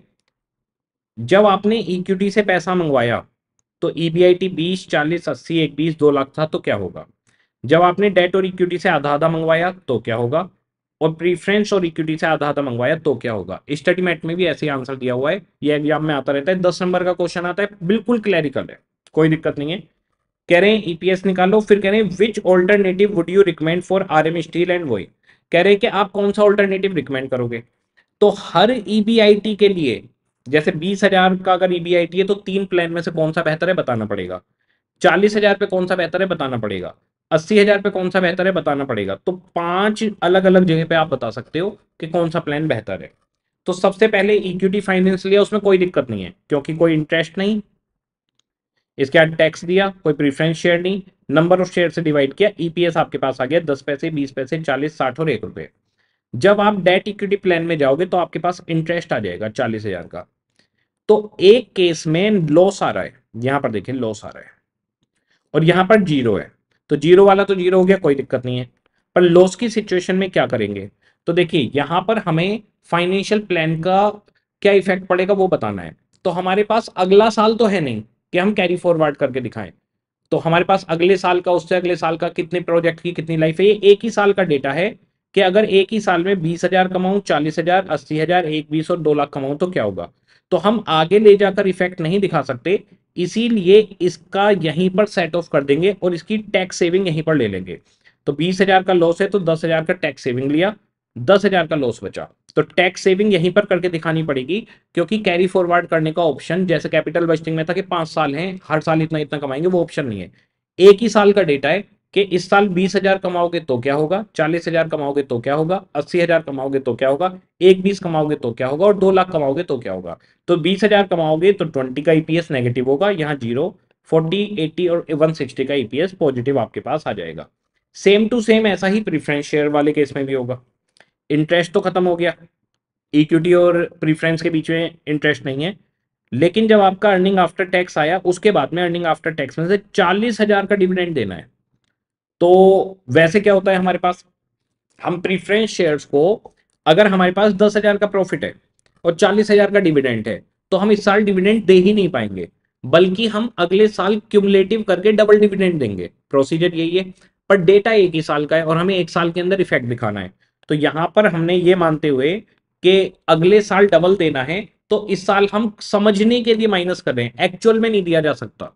एक्चुअल में अगर आपके पास दस हज़ार रुपए का प्रॉफिट है चालीस हज़ार का डिविडेंड देना है तो पॉसिबल नहीं है। लेकिन समझने के लिए कि इसका इफ़ेक्ट ईपीएस पर क्या पड़ रहा है। भाई, एक बात सोचो, आज आप डिविडेंड नहीं दे पा रहे प्रीफरेंस शेयर होल्डर को, लेकिन ये लाइबिलिटी किसके सर पर खड़ी हो गई? इक्विटी शेयर होल्डर के सर पर खड़ी हो गई, क्योंकि इस साल नहीं दिया तो अगले साल डबल देना पड़ेगा। जाएगा तो लास्ट में इक्विटी शेयर होल्डर की जेब से। तो उसका इफ़ेक्ट आज ही हम देखना चाहते हैं। तो यहाँ पर इसको माइनस करके दिखा दिया जाएगा। फिर आपके पास अर्निंग आफ्टर टैक्स में नंबर ऑफ़ शेयर डिवाइड करके कैलकुलेशन आ जाएगी। तो जो भी इफ़ेक्ट हैं, वो इसी साल में दिखाने हैं, उनको कैरी फॉरवर्ड नहीं करना। तो इसमें ये चीज़ आपको देखनी है। अब इसके अंदर हमें डिस्कस करना है कि कौन सा ऑप्शन लेना चाहिए। तो देखिए, बड़ा सिंपल है। सबसे पहले, बीस हज़ार वाले पे लेते हैं। इक्विटी प्लान दस पैसे कमा कर दे रहा है। ये बीस पैसे नुकसान में है, ये साठ पैसे नुकसान में कौन जीता? इक्विटी प्लान जीत गया तो बीस हज़ार रुपए का अगर ईबीआईटी है तो इक्विटी प्लान जीतेगा। फिर चालीस हज़ार पे देखते हैं। बीस पैसे, ज़ीरो माइनस के चालीस पैसे। यहाँ पर भी इक्विटी प्लान ही जीत रहा है। तो आपकी कमाई बीस हज़ार हो या चालीस हज़ार हो तो इक्विटी प्लान पे जाइए, फिर अस्सी हज़ार पर। ये चालीस पैसे कमा कर दे रहा है, ये भी चालीस पैसे कमा कर दे रहा है, ये ज़ीरो कमा कर दे रहा है। तो इस सिचुएशन में आपका इक्विटी और डेट प्लान इक्विटी और डेट इक्विटी मिक्स वाला, ये इंडिफरेंस पे आ गए। तो बीस हज़ार, चालीस हज़ार कमा रहे हो तो इक्विटी प्लान पे जाओ, अस्सी हज़ार कमा रहे हो तो इक्विटी और डेट इक्विटी इंडिफरेंस पॉइंट पर आ गए। अब 120 कमा रहे हो तो 120 पर ये 60 पैसे कमा कर दे रहा है, ये 80 पैसे, ये 40 पैसे तो 80 पैसे वाला जीत गया तो यहाँ पर डेट प्लान जीतेगा। और दो लाख रुपए पर ये एक लाख कमा कर दे रहा है, ये 160 ये 120 कमा कर दे रहा है तो 160 जीत जाएगा। तो यानी कि अस्सी हज़ार से अगर मैं पीछे जाके देखता हूँ तो इक्विटी प्लान बेटर है। अस्सी हज़ार पे अगर मैं देखता हूँ तो इक्विटी और डेट इक्विटी मिक्स बेटर है। और अगर अस्सी हज़ार से आगे जाकर देखता हूँ तो डेट इक्विटी बेटर आ रहा है। ईपीएस देखकर ही चेक कर देंगे। तो हमारे पास ये आ गया कि अगर अस्सी हज़ार से कम हो तो इक्विटी पे रहो। अस्सी हज़ार पर इक्विटी और डेट इक्विटी मिक्स वाला ले सकते हो। और अस्सी हज़ार से ज़्यादा हो तो डेट इक्विटी पर आप चले जाइए। काम खत्म। ये था हमारे पास ईबीआईटी ईपीएस जो क्वेश्चन मैंने यहाँ पर करवाए हैं, इनकी प्रैक्टिस कर लेना। इन्हीं में से कोई एक चैप्टर आपके एग्ज़ाम में कंफर्म आ जाएगा। चैप्टर का काम खत्म।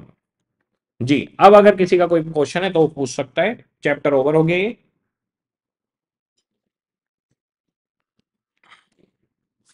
क्लियर है सबको? बहुत ही सिंपल है, बहुत ज़्यादा आसान है।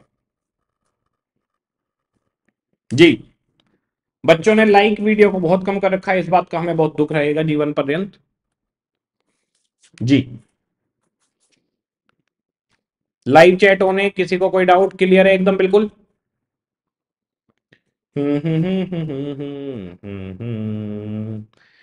एक एक चीज़ आपको याद आ गई होगी एक एक चीज़।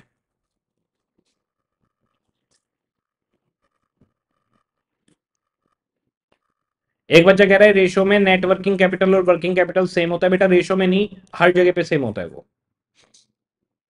एक बच्चा कह रहा है टैक्स सेविंग का कंसेप्ट बता दो, कुछ नहीं करना। अगर प्रॉफिट आ रहा है तो टैक्स देना पड़ता है। लॉस आ रहा है तो टैक्स उल्टा हो जाएगा, यानी रिवर्स हो जाएगा।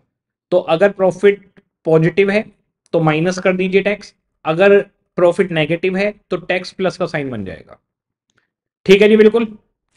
ओके अब हमारे पास में यहाँ पर हमारा अगला जो चैप्टर है, वो है लीवरेज आ जाओ भाई लीवरेज पर। लीवरेज हम स्टार्ट करेंगे 10 मिनट के ब्रेक के बाद। 11:26 हो रहे हैं। 10 मिनट का ब्रेक ये हो गया 11:36 11:36 पर हम स्टार्ट करेंगे।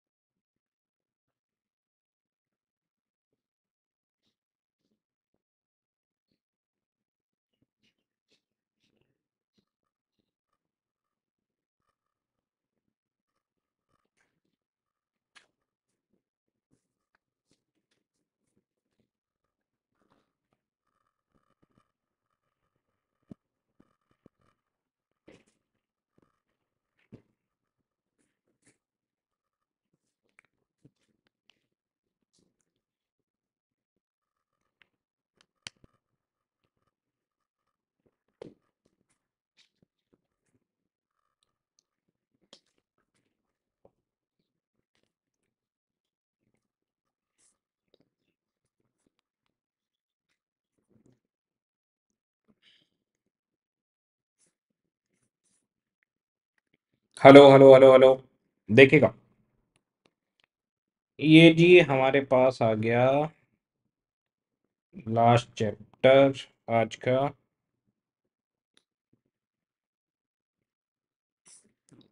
Hello hello hello hello hello.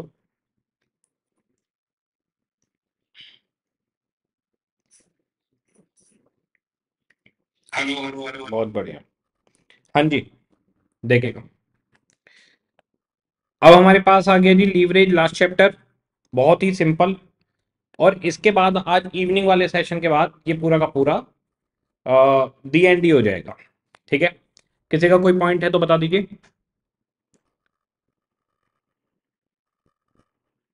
हम्म हम्म हम्म बच्चा कह रहे हैं, sir important question list your book is sufficient or not बेटा, हमने ढूंढ ढांड कर क्वेश्चन सेलेक्ट कर लिए। इसके अलावा आपको कहीं भी दिखता है ना, जैसे मान लो, देखो जितने क्वेश्चन मुझे एग्ज़ाम ओरिएंटेड लगते हैं विद ऑल एडजस्टमेंट वो मैंने यहाँ पर कवर किए हुए हैं। इसके अलावा आपको कोई भी क्वेश्चन लगता है जैसे आ, कहीं पे भी नज़र आता है कि आपको लगता है वो इंपॉर्टेंट है तो ऑब्वियसली आपको वो क्वेश्चन भी साथ के साथ कर लेना चाहिए ठीक है? तो मुझे लगता है कि हम लोग चालू करते हैं। ये हमारी गई लाइव चैट दी एंड और स्टार्ट करते हैं हम लोग। लीवरेज टेक्निक लीवरेज टेक्निक बिल्कुल सिंपल है। इसके अंदर तीन रेशो दिए हुए हैं बेसिकली और उन तीन रेशो के बेसिस पे पूरा का पूरा हमारा चैप्टर आ जाता है। तो बहुत ही सिंपल है लीवरेज के अंदर कनेक्शन दिखाया जाता है। तो लीवरेज बेसिकली इन्फ्लुएंस या पावर को कहते हैं। इसका मतलब है कि एक वेरिएबल के चेंज होने से दूसरे वेरिएबल पे क्या फ़र्क पड़ेगा? जैसे सेल से ईबीआईटी पे क्या फ़र्क पड़ेगा? ईबीआईटी के चेंज होने से ईपीएस पे क्या फ़र्क पड़ेगा? और सेल से ईपीएस तक क्या फ़र्क पड़ेगा? हमारे पास दो तरीके के रिस्क रहते हैं, दो तरीके की कॉस्ट के बेसिस पर।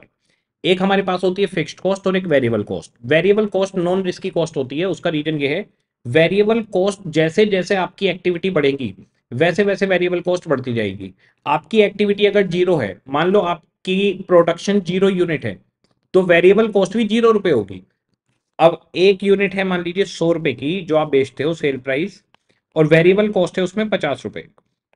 अब बताइए, अगर सौ यूनिट बनाओगे तो सेल भी मल्टीप्लाई बाई सौ हो जाएगी और वेरिएबल कॉस्ट भी मल्टीप्लाई बाई सौ हो जाएगी। तो वेरिएबल कॉस्ट और सेल ये दोनों एक दूसरे से डायरेक्टली रिलेटेड रहती हैं प्रोडक्शन से। इन दोनों में कुछ भी रिस्क नहीं है। वेरिएबल कॉस्ट में कभी कोई रिस्क नहीं होता। रीजन बीइंग वेरिएबल कॉस्ट तब खर्च होगी जब आपके पास सेल रिवेन्यू भी आ रहा होगा। लेकिन फिक्स्ड कॉस्ट की दिक्कत है। मान लो वो एक लाख रुपए है तो एक यूनिट बनाओ, सौ यूनिट बनाओ या दस हज़ार यूनिट बनाओ, वो एक लाख रुपए ही रहेगी।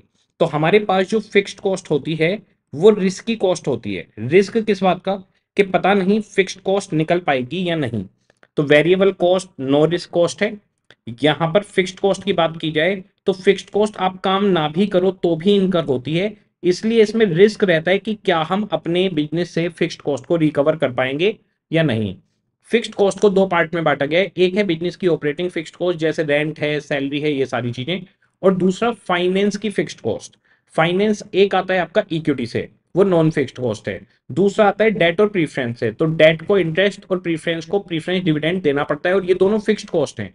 तो हमारे पास ऑपरेटिंग फिक्स्ड कॉस्ट में रेंट सैलरी एटसेट्रा ये सब आ जाएगा। फाइनेंशियल फिक्स्ड कॉस्ट के अंदर हमारे पास इंटरेस्ट लोन के ऊपर और प्रीफरेंस डिविडेंड प्रीफरेंस शेयर्स के ऊपर कवर हो जाता है। जो ऑपरेटिंग फिक्स्ड कॉस्ट है, ये निकल पाएगी या नहीं निकल पाएगी, इस रिस्क को हम ऑपरेटिंग रिस्क या बिज़नेस रिस्क कहते हैं। और फाइनेंशियल कॉस्ट निकल पाएगी या नहीं निकल पाएगी, इसे हम फाइनेंशियल रिस्क बोलते हैं। दोनों को जोड़ दिया जाए तो कंबाइंड रिस्क बोला जाता है। तो हमारे पास दो तरीके के रिस्क रहेंगे, एक बिज़नेस और एक फाइनेंशियल बिज़नेस रिस्क इस बात पर फोकस रहेगा कि क्या आप ऑपरेटिंग फिक्स्ड कॉस्ट को निकाल पा रहे हैं या नहीं, और फाइनेंशियल रिस्क इस बात पर रहेगा कि क्या हम फाइनेंशियल फिक्स बर्डन को पे करने के लिए कैपेबल हैं या नहीं। हमारे पास जो अलग अलग लीवरेज हैं, सबसे पहले है ऑपरेटिंग लीवरेज। ये रिलेशनशिप दिखाती है सेल से ईबीआईटी तक की। तो सेल से ईबीआईटी तक की रिलेशनशिप ऑपरेटिंग लीवरेज बताएगा। ईबीआईटी से लेकर ईपीएस e तक का रिलेशन फाइनेंशियल लीवरेज दिखाएगी और सेल से पूरा ईपीएस e तक का रिलेशन कंबाइंड लीवरेज हमें शो करती है। हमारे पास तीन तरीके की लीवरेज रहेगी operating leverage financial leverage combined leverage operating leverage sale से एबीआईटी तक का रिलेशन बताएगी। ये बिज़नेस रिस्क कितना है उसको कैलकुलेट करेगी। जितनी ज़्यादा ऑपरेटिंग लीवरेज होगी बिज़नेस रिस्क या ऑपरेटिंग रिस्क उतना ही ज़्यादा होगा। फाइनेंशियल लीवरेज ईबीआईटी से ईपीएस तक के रिलेशनशिप को बताता है। जितनी भी फाइनेंशियल लीवरेज होगी ज़्यादा, उतना ही फाइनेंशियल रिस्क भी आपका ज़्यादा होगा। ये बताएगी फाइनेंशियल रिस्क कितना है और कंबाइंड लीवरेज सेल से ईपीएस तक के रिलेशनशिप को बताती है। जितनी ज़्यादा कंबाइंड लीवरेज होगी, उतना ही ज़्यादा कंबाइंड रिस्क आपके पास आएगा। तो हमारे पास तीन लीवरेज रहेंगी, इनके तीन फॉर्मूले हैं और बस इनके ऊपर पूरा चैप्टर बना हुआ है। सबसे पहली है हमारे पास ऑपरेटिंग लीवरेज या डिग्री ऑफ़ ऑपरेटिंग लीवरेज दोनों टर्म एक ही बात है। अगर बात की जाती है ऑपरेटिंग लीवरेज की तो हमारे पास इसका फॉर्मूला है कॉन्ट्रीब्यूशन डिवाइड बाई ईबीआईटी दूसरा रिलेशनशिप के बेसिस पर फॉर्मूला बना हुआ है, कितने परसेंट चेंज हुआ ईबीआईटी में सेल में चेंज होने की वजह से। तो जैसे हमारे पास 20 परसेंट ईबीआईटी बदल गया सेल में 10 परसेंट चेंज होने से तो इसका मतलब ऑपरेटिंग लीवरेज टू आ जाएगी। तीसरा फॉर्मूला इसका रहता है कंबाइंड लीवरेज से। कंबाइंड लीवरेज का फॉर्मूला होता है O L multiply by F L अब अगर हमें ओ एल निकालना है तो कंबाइंड लीवरेज को एफ़ एल से डिवाइड कर दीजिए। तो हमारे पास तीसरा फॉर्मूला रहेगा combined leverage divide by financial leverage और इसका एक फॉर्मूला बना हुआ है एमओएस प्रोपोर्शन से। तो one divide by MOS proportion मान लीजिए आपकी जो सेल है, उसका सिक्सटी परसेंट हिस्सा बीईपी है। और फोर्टी परसेंट हिस्सा एमओएस है। तो ऑपरेटिंग लीवरेज आप ऐसे निकाल सकते हैं one divide by MOS proportion one divide by point four या फोर्टी परसेंट तो operating leverage two point five times आपकी आ जाएगी। तो हमारे पास ये फॉर्मूले रहेंगे। सबसे पहला formula contribution divide by EBIT दूसरा percentage change in EBIT due to percentage change in sales तीसरा रहेगा C L divide by F L और चौथा रहेगा one divide by MOS proportion अगर ऑपरेटिंग लीवरेज 2.5 टाइम्स आ गई तो ये इंडिकेट करता है कि एक परसेंट अगर सेल में चेंज होगा तो 2.5 टाइम ऑपरेटिंग लीवरेज है तो ईबीआईटी में 2.5 परसेंट उसका इफ़ेक्ट पड़ेगा। तो एक परसेंट सेल के चेंज से 2.5 परसेंट ईबीआईटी चेंज हो जाएगा। अगर ऑपरेटिंग लीवरेज फाइव है तो सेल के एक परसेंट चेंज से ईबीआईटी फाइव परसेंट चेंज हो जाएगा।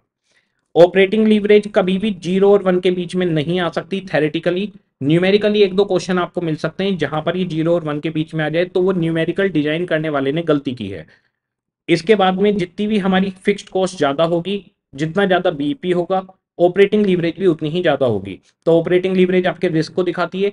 बीपी अगर ज़्यादा है फिक्स्ड कॉस्ट ज़्यादा है तो आपके ऊपर रिस्क ज़्यादा है तो ऑपरेटिंग लीवरेज भी ज़्यादा होगी। अगर कोई ऑपरेटिंग फिक्स्ड कॉस्ट है ही नहीं तो ऑपरेटिंग रिस्क भी नहीं होगा। ऐसी सिचुएशन में हमारी ऑपरेटिंग लीवरेज वन आती है। ऑपरेटिंग लीवरेज वन का मतलब है कि आपके ऊपर कोई भी रिस्क नहीं है।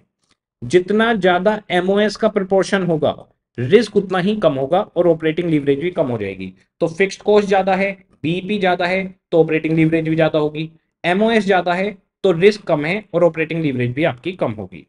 इसके बाद हमारे पास आती है फाइनेंशियल लीवरेज ये ईबीआईटी से ईपीएस को रिलेट करती है। मान लीजिए फाइनेंशियल लीवरेज फाइव है तो ईबीआईटी में अगर एक परसेंट चेंज होगा तो ईपीएस में पाँच गुना ज़्यादा चेंज होगा। फाइव टाइम्स उसके अंदर चेंज आ जाएगा। इसका फॉर्मूला हमारे पास financial leverage equal to EBIT divide by EBT minus PD divide by one minus tax अगर प्रीफरेंस डिविडेंड ना हो तो हम ईबीआईटी डिवाइड बाई ईबीटी लिख सकते हैं, क्योंकि पीडी अगर नहीं होगा तो। अगर है तो minus PD divide by one minus tax करना पड़ेगा। दूसरा चेंज के बेसिस पे फॉर्मूला है percentage change in EPS divide by percentage change in EBIT यानी जैसे मान लीजिए ईबीआईटी दस परसेंट बदला और ईपीएस पचास परसेंट बदला है तो फाइनेंशियल लीवरेज हमारी फाइव टाइम्स हो गई, कि भाई पाँच गुना हमारी फाइनेंशियल लीवरेज है। और तीसरा फॉर्मूला फाइनेंशियल लीवरेज का कंबाइंड लीवरेज से बना हुआ है। कंबाइंड लीवरेज है O L into F L अगर आपको एफ़ निकालना है तो कंबाइंड लीवरेज को ऑपरेटिंग लीवरेज से डिवाइड कर दीजिए। Combined leverage divide by operating leverage तो तीन फॉर्मूले रहेंगे। EBIT divide by EBT minus PT divide by one minus tax दूसरा percentage change in EPS due to percentage change in EBIT तीसरा combined leverage divide by operating leverage financial leverage कभी भी zero और one के बीच में नहीं आ सकती थेरेटिकली लेकिन कई बार न्यूमेरिकल आईसीआई गलत डिज़ाइन करता है तो ज़ीरो और वन के बीच में आपको मिल सकता है। वैसे ज़ीरो और वन के बीच में नहीं हो सकती। जितनी ज़्यादा फाइनेंशियल फिक्स्ड कॉस्ट होगी, यानी इंटरेस्ट और प्रेफरेंस डिविडेंड उतनी ही ज़्यादा फाइनेंशियल रिस्क होगा और ऑपरेटिंग लीवरेज भी उतनी ही ज़्यादा होगी। अगर कोई ऑल इक्विटी कंपनी है, जिसमें सारा का सारा पैसा इक्विटी से आया है, यानी कोई भी फिक्स बर्डन नहीं है तो कोई फाइनेंशियल रिस्क नहीं होगा। ऐसी सिचुएशन में फाइनेंशियल लीवरेज आपकी वन आएगी। वन का मतलब है कोई रिस्क नहीं है। इसके बाद में इन दोनों को अगर हम मर्ज करते हैं तो हमारे पास आ जाती है कंबाइंड लीवरेज ये सेल से सीधा ईपीएस तक पर क्या इफ़ेक्ट पड़ेगा, उसे बता देती है। मान लीजिए कंबाइंड लीवरेज टू टाइम है तो सेल अगर एक परसेंट बढ़ेगी तो ईपीएस दो परसेंट बढ़ जाएगा। तो एक परसेंट सेल से ईपीएस पर दो परसेंट इफ़ेक्ट यहाँ पर पड़ेगा। कंबाइंड लीवरेज के फॉर्मूले contribution divide by EBT minus PD divide one minus tax या फिर परसेंटेज कितनी चेंज होगी ईपीएस में सेल में परसेंटेज चेंज होने से, और तीसरा O L into F L बस ये फॉर्मूले हमें याद होने चाहिए, और हमारे सारे क्वेश्चन इसके सोल्व हो जाएँगे। तो ऑपरेटिंग लीवरेज के फॉर्मूले हमारे पास कॉन्ट्रीब्यूशन डिवाइड बाई ईबीआईटी दूसरा formula percentage change in EBIT divide by percentage change in sale तीसरा combined leverage divide by financial leverage एक एडिशनल फॉर्मूला है one divide by MOS financial leverage के फॉर्मूले हमारे पास EBIT divide by EBT minus PD divide by one minus tax या फिर percentage change in EPS divide by percentage change in EBIT और तीसरा combined leverage को operating leverage से divide कर दो। और कंबाइंड लीवरेज के फॉर्मूले contribution divide by EBT minus PD divide by one minus tax दूसरा है O L into F L और तीसरा है percentage change in EPS due to percentage change in sales effect financial leverage का क्या पड़ेगा हमारे ऊपर? फाइनेंशियल लीवरेज का मतलब है कि आपने लोन लिया हुआ है। तो हमारे पास लोन अगर आपने लिया है और आपकी आरओआई यानी बिज़नेस की income return on capital employed interest के रेट से ज़्यादा है तो जैसे मान लो हमारी रिटर्न है बारह परसेंट और इंटरेस्ट रेट है दस परसेंट तो ये लीवरेज आपको फ़ायदा देगी। लोन लेना आपको फ़ायदा देगा, क्योंकि लोन आपको दस परसेंट पे मिल गया, कमाओगे उससे बारह परसेंट दो परसेंट सीधा आपकी जेब में चला जाएगा तो ये फेवरेबल इफ़ेक्ट देगी। अगर आरओआई और रेट ऑफ़ इंटरेस्ट एक बराबर है तो इंडिफरेंस आ जाएगा, कोई फ़ायदा नहीं, कोई नुकसान नहीं। और अगर आरओआई आपकी आठ परसेंट है और रेट ऑफ़ इंटरेस्ट आपका दस परसेंट है तो आप नुकसान में जाने वाले हो, ये अनफेवरेबल सिचुएशन को शो करेगा। इसके बाद में हमारे पास आता है प्रीफरेंस शेयर कैपिटल के होने से क्या इफ़ेक्ट पड़ेगा? प्रीफरेंस शेयर कैपिटल को पेमेंट होती है आफ्टर टैक्स तो इसमें जो रिटर्न आएगी वो भी आफ्टर टैक्स हमें देखनी होगी। अगर हमारी after tax ROI rate of PD से ज़्यादा है, जैसे मान लो बारह परसेंट है, और रेट ऑफ़ पीडी है दस परसेंट तो यहाँ पर आपको फ़ायदा होगा क्योंकि आफ्टर टैक्स कमाई आपकी बारह परसेंट है और आफ्टर टैक्स पेमेंट दस परसेंट, दो परसेंट सीधा इक्विटी शेयर होल्डर को बच जाएगा। तो फेवरेबल रहेगा। अगर ये दोनों एक बराबर हैं तो इनडिफरेंस और अगर आपकी after tax income rate of PD से कम है। मान लीजिए एट परसेंट है और देना दस परसेंट है तो आपको अपनी जेब से दो परसेंट देने होंगे तो इसको हम अनफेवरेबल सिचुएशन बोलते हैं। एक बात कही जाती है कि financial leverage double edge sword की तरह से काम करती है तो फाइनेंशियल लीवरेज में जैसे डेट हो गया तो डेट एक तो चीपर सोर्स है, सस्ता है आपके पास।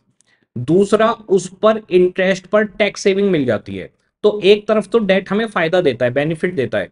दूसरी तरफ़, अगर आपकी कमाई नहीं है तो कमाई नहीं भी होगी तो डेट को पेमेंट करनी पड़ेगी। तो दूसरी तरफ़ वो आपके सामने रिस्क क्रिएट कर देता है बर्डन क्रिएट कर देता है कि कमाई नहीं है तो तुम्हारे सर पे बर्डन है। कमाई है तो तुम्हारे को फ़ायदा ही फ़ायदा है, क्योंकि इंटरेस्ट पे भी टैक्स बेनिफिट मिल जाएगा और डेट वैसे भी सस्ता मिलता है, उसकी परसेंटेज कम होती है। तो इसलिए ये डबल एज शॉर्ट की तरफ़ से बोली जाती है कि एक तरफ़ से फ़ायदा देती है तो एक तरफ़ से नुकसान देती है। और एक टर्म कई बार पूछी जाती है trading on equity trading on equity का मतलब होता है, अगर आपका इक्विटी बेस बहुत कम है, जैसे मान लो दस करोड़ की कंपनी है, उसमें इक्विटी से पचास लाख रुपए आए हैं, बाकी साढ़े नौ करोड़ रुपए डेट से और प्रीफरेंस शेयर हैं, ऐसी फंडिंग है तो हम इसको बोलते हैं trading on equity trading on equity का मतलब है इक्विटी का बेस ज़रूरत से ज़्यादा कम होना, इसीलिए कंपनी लो में भी लिखा हुआ है कि debt equity ratio two is to one से ऊपर नहीं हो सकता। उससे ऊपर आप डेट ही रेज नहीं कर सकते। क्योंकि कल को आप डेट की पेमेंट करोगे, कैसे अगर कंपनी रिसेशन में आ गई या बिज़नेस डाउन हो गया तो सारी डेट का पैसा मर जाएगा। तो ट्रेडिंग ऑन इक्विटी का मतलब है कि इक्विटी का बेस बहुत कम है और उसके ऊपर आपने बहुत बड़ा लोन ले लिया है, इसे हम ट्रेडिंग ऑन इक्विटी बोलते हैं। ये एक अच्छी बिज़नेस प्रैक्टिस नहीं मानी जाती। इसके जो क्वेश्चन है, वो बड़े सिंपल हैं। अलग अलग टाइप के सारे क्वेश्चन इसके हमने रखे हुए हैं। कह रहे हैं ऑपरेटिंग लीवरेज फाइनेंशियल लीवरेज और कंबाइंड लीवरेज निकालो। From the following data under situation one and two and financial plan A and B तो दो सिचुएशन और दो प्लान है, यानी चार कॉम्बिनेशन है। दो सिचुएशन दो प्लान टोटल चार कॉम्बिनेशन आएँगे। Installed capacity four thousand unit है। Actual production and sale seventy five percent of capacity है।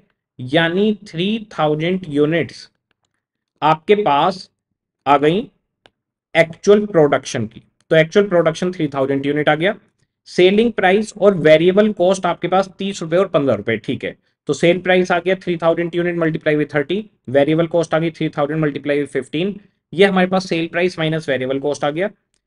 अब फिक्स्ड कॉस्ट कह रहे हैं सिचुएशन वन में पंद्रह हज़ार है और सिचुएशन टू में बीस हज़ार है। फिर कह रहे हैं दो फाइनेंशियल प्लान है ए और बी एक में इक्विटी से दस हज़ार और एक में पंद्रह हज़ार है। दूसरी में डेट से दस हज़ार और पाँच हज़ार है और rate of interest twenty percent है। यानी यहाँ पर दो हज़ार का इंटरेस्ट जाएगा और यहाँ पर एक हज़ार रुपए का इंटरेस्ट चला जाएगा। ठीक है। तो अब हमारे पास दो सिचुएशन दो फाइनेंशियल प्लान है तो चार कॉम्बिनेशन बनेंगे। सिचुएशन वन में दोनों प्लान फिर सिचुएशन टू में दोनों प्लान चार कॉलम बन गए। सेल लेस वेरिएबल कॉस्ट और कॉन्ट्रीब्यूशन कॉन्ट्रीब्यूशन सब तक सेम आ जाएगा। उसके बाद सिचुएशन वन की फिक्स्ड कॉस्ट पंद्रह पंद्रह हज़ार रुपए माइनस होगी ईबीआईटी आ गया। और सिचुएशन टू में फिक्स्ड कॉस्ट दो दो हज़ार रुपए माइनस होगी, पच्चीस पच्चीस आपका यहाँ पर ईबीआईटी आ गया। अब प्लान ए के अंदर इंटरेस्ट माइनस होगा दो हज़ार और प्लान बी में माइनस होगा एक हज़ार रुपए। ये हमारे पास ईबीटी निकल कर आ जाएगा। यहाँ पर ओ एल एफ़ एल और सी एल आपके पास निकल कर आ जाएँगे। क्वेश्चन खत्म हो जाएगा। तो बिल्कुल सिंपल क्वेश्चन होता है। ये फाइव मार्क्स में आएगा। इससे ऊपर इसकी वर्थ नहीं है। लीवरेज के जो क्वेश्चन है, वो छोटे होते हैं। पाँच नंबर के आते हैं। कोई बड़ा घुमा फिरा के क्वेश्चन देगा तो दस नंबर में देगा। इसके बाद हमारे पास B B Q nine capital structure of a progressive corporation consist of an ordinary share capital of one crore rupees सौ रुपए का शेयर है and ten lakh ten percent debenture तो इसका मतलब एक लाख रुपए का इंटरेस्ट है इनके ऊपर। Sale increase by twenty percent from one lakh unit to one twenty unit हमारी सेल एक लाख से एक लाख बीस हज़ार यूनिट हो गई है। सेल प्राइस दस रुपए है वेरिएबल कॉस्ट छह रुपए है फिक्स्ड कॉस्ट दो लाख है income tax rate fifty percent है। ठीक है। कह रहे हैं, आपको बताना है percentage increase in EPS EPS कितना बढ़ेगा?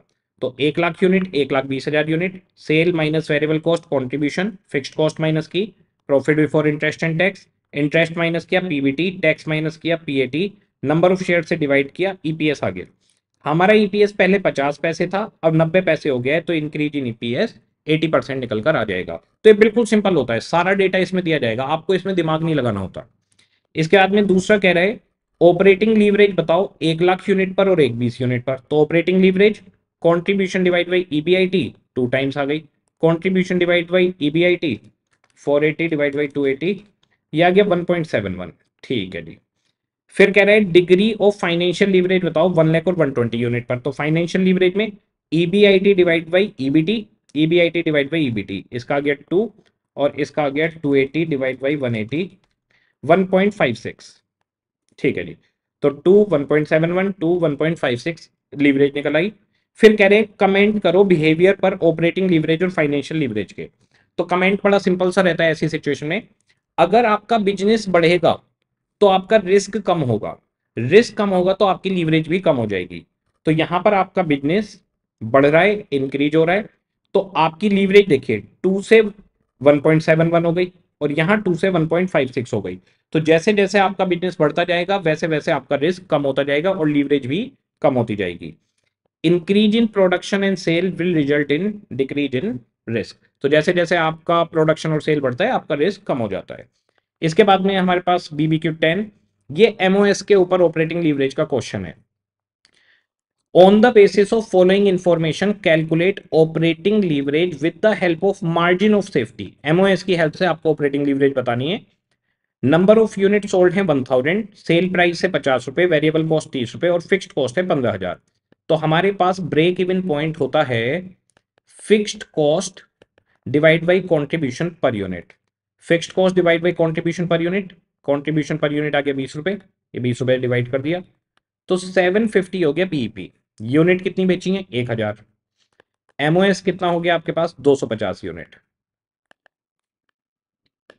Seven fifty unit BP हो गया, दो सौ पचास यूनिट एमओएस हो गया। अब बताइए, सेल का कितना हिस्सा एमओएस है? तो एक हज़ार में से 250 यूनिट एमओएस है, यानी एमओएस 25 परसेंट ऑफ़ सेल या फिर 0.25 है। अब ऑपरेटिंग लीवरेज निकालनी है तो one divide by MOS one divide by MOS आ गया ऑपरेटिंग लीवरेज आपके पास आ गई फोर तो ऑपरेटिंग लीवरेज आपके पास फोर निकल जाएगी। इस तरह से एमओएस से लिंक करके क्वेश्चन आपके पास आ सकता है। ये आ गया फोर टाइम्स एक क्वेश्चन है बीबीक्यू इलेवन अब हमारे पास इसके अंदर ना लीवरेज के अंदर एग्जामिनर लीवरेज आपको कई बार बता देता है और आपसे कहता है कि आपको इनकम स्टेटमेंट बनाना है। तो पहले क्वेश्चन में क्या था? इनकम स्टेटमेंट का डेटा दे दिया हमें और हमसे लीवरेज निकलवाई। अब क्या करेगा? लीवरेज का डेटा देगा और आपसे इनकम स्टेटमेंट बनवाएगा। ठीक है, कोई दिक्कत नहीं है। Company P and Q are having same earning before tax. However, the margin of safety of company P is 0.20 for company Q is 1.25 times than the company P अब देखिए पहले कंपनी पी की हम एमओएस है आपके पास point two तो one divide by point two इसका आ जाएगा ऑपरेटिंग लिवरेज फाइव टाइम्स हम पहले मार्जिन ऑफ़ सेफ्टी इसकी ट्वेंटी परसेंट है और इसकी ऑपरेटिंग लीवरेज हमारे पास operating leverage O L O L O L company A का ओ एल रहा। Operating leverage one divide by MOS five times आ गया। अब हमारे पास दूसरी कंपनी कह रहे हैं कि मार्जिन ऑफ़ सेफ्टी पी की पॉइंट टू है और कंपनी क्यू की one point two five times than that of company P है। तो अगर इसकी पॉइंट टू है, इसका one point two five times कितना हो गया? Point two into one point two five time इसका एम हो गया पॉइंट टू फाइव इसकी ऑपरेटिंग लीवरेज आपके पास आ जाएगी फोर टाइम तो पी की ऑपरेटिंग लीवरेज आ गई फाइव दूसरे की आ गई फोर अब इसके बाद में यहाँ पे देखिए, इसकी एम ओ है पॉइंट टू इसकी हो गई पॉइंट टू फाइव इसकी ऑपरेटिंग लीवरेज आ गई आपके पास फाइव दूसरी कंपनी की ऑपरेटिंग लीवरेज आ जाएगी फोर तो एक एक पॉइंट बताता जाएगा वर्किंग नोट में उस पॉइंट को हम निकालते जाएँगे। ठीक है। आगे कह रहे हैं interest expense of P is 150 and Q is one third less than of P तो इसका है 150 और इसका इससे वन थर्ड कम है। तो इसका मतलब इसका इंटरेस्ट एक्सपेंस एक लाख रुपए हो जाएगा। तो इसका इंटरेस्ट है 150 तो इसका इंटरेस्ट हो गया वन लैख ठीक है जी इंटरेस्ट आ गया। अब कह रहे हैं further the financial leverage of company P is four company Q is seventy five percent of P तो पी की फाइनेंशियल लीवरेज है फोर और क्यू की seventy five percent of P का है तो इसकी आ जाएगी थ्री टाइम्स तो एक की फोर आ गई, एक की थ्री आ गई। इसकी फोर टाइम्स है फाइनेंशियल लीवरेज इसकी थ्री टाइम्स आ गई। इंटरेस्ट इसका वन फिफ्टी है, इसका वन लैख आ गया। ओके जी। अब इतनी इंफॉर्मेशन देने के बाद में क्वेश्चन कह रहा है पीवी रेशो 25 परसेंट और 33 परसेंट है।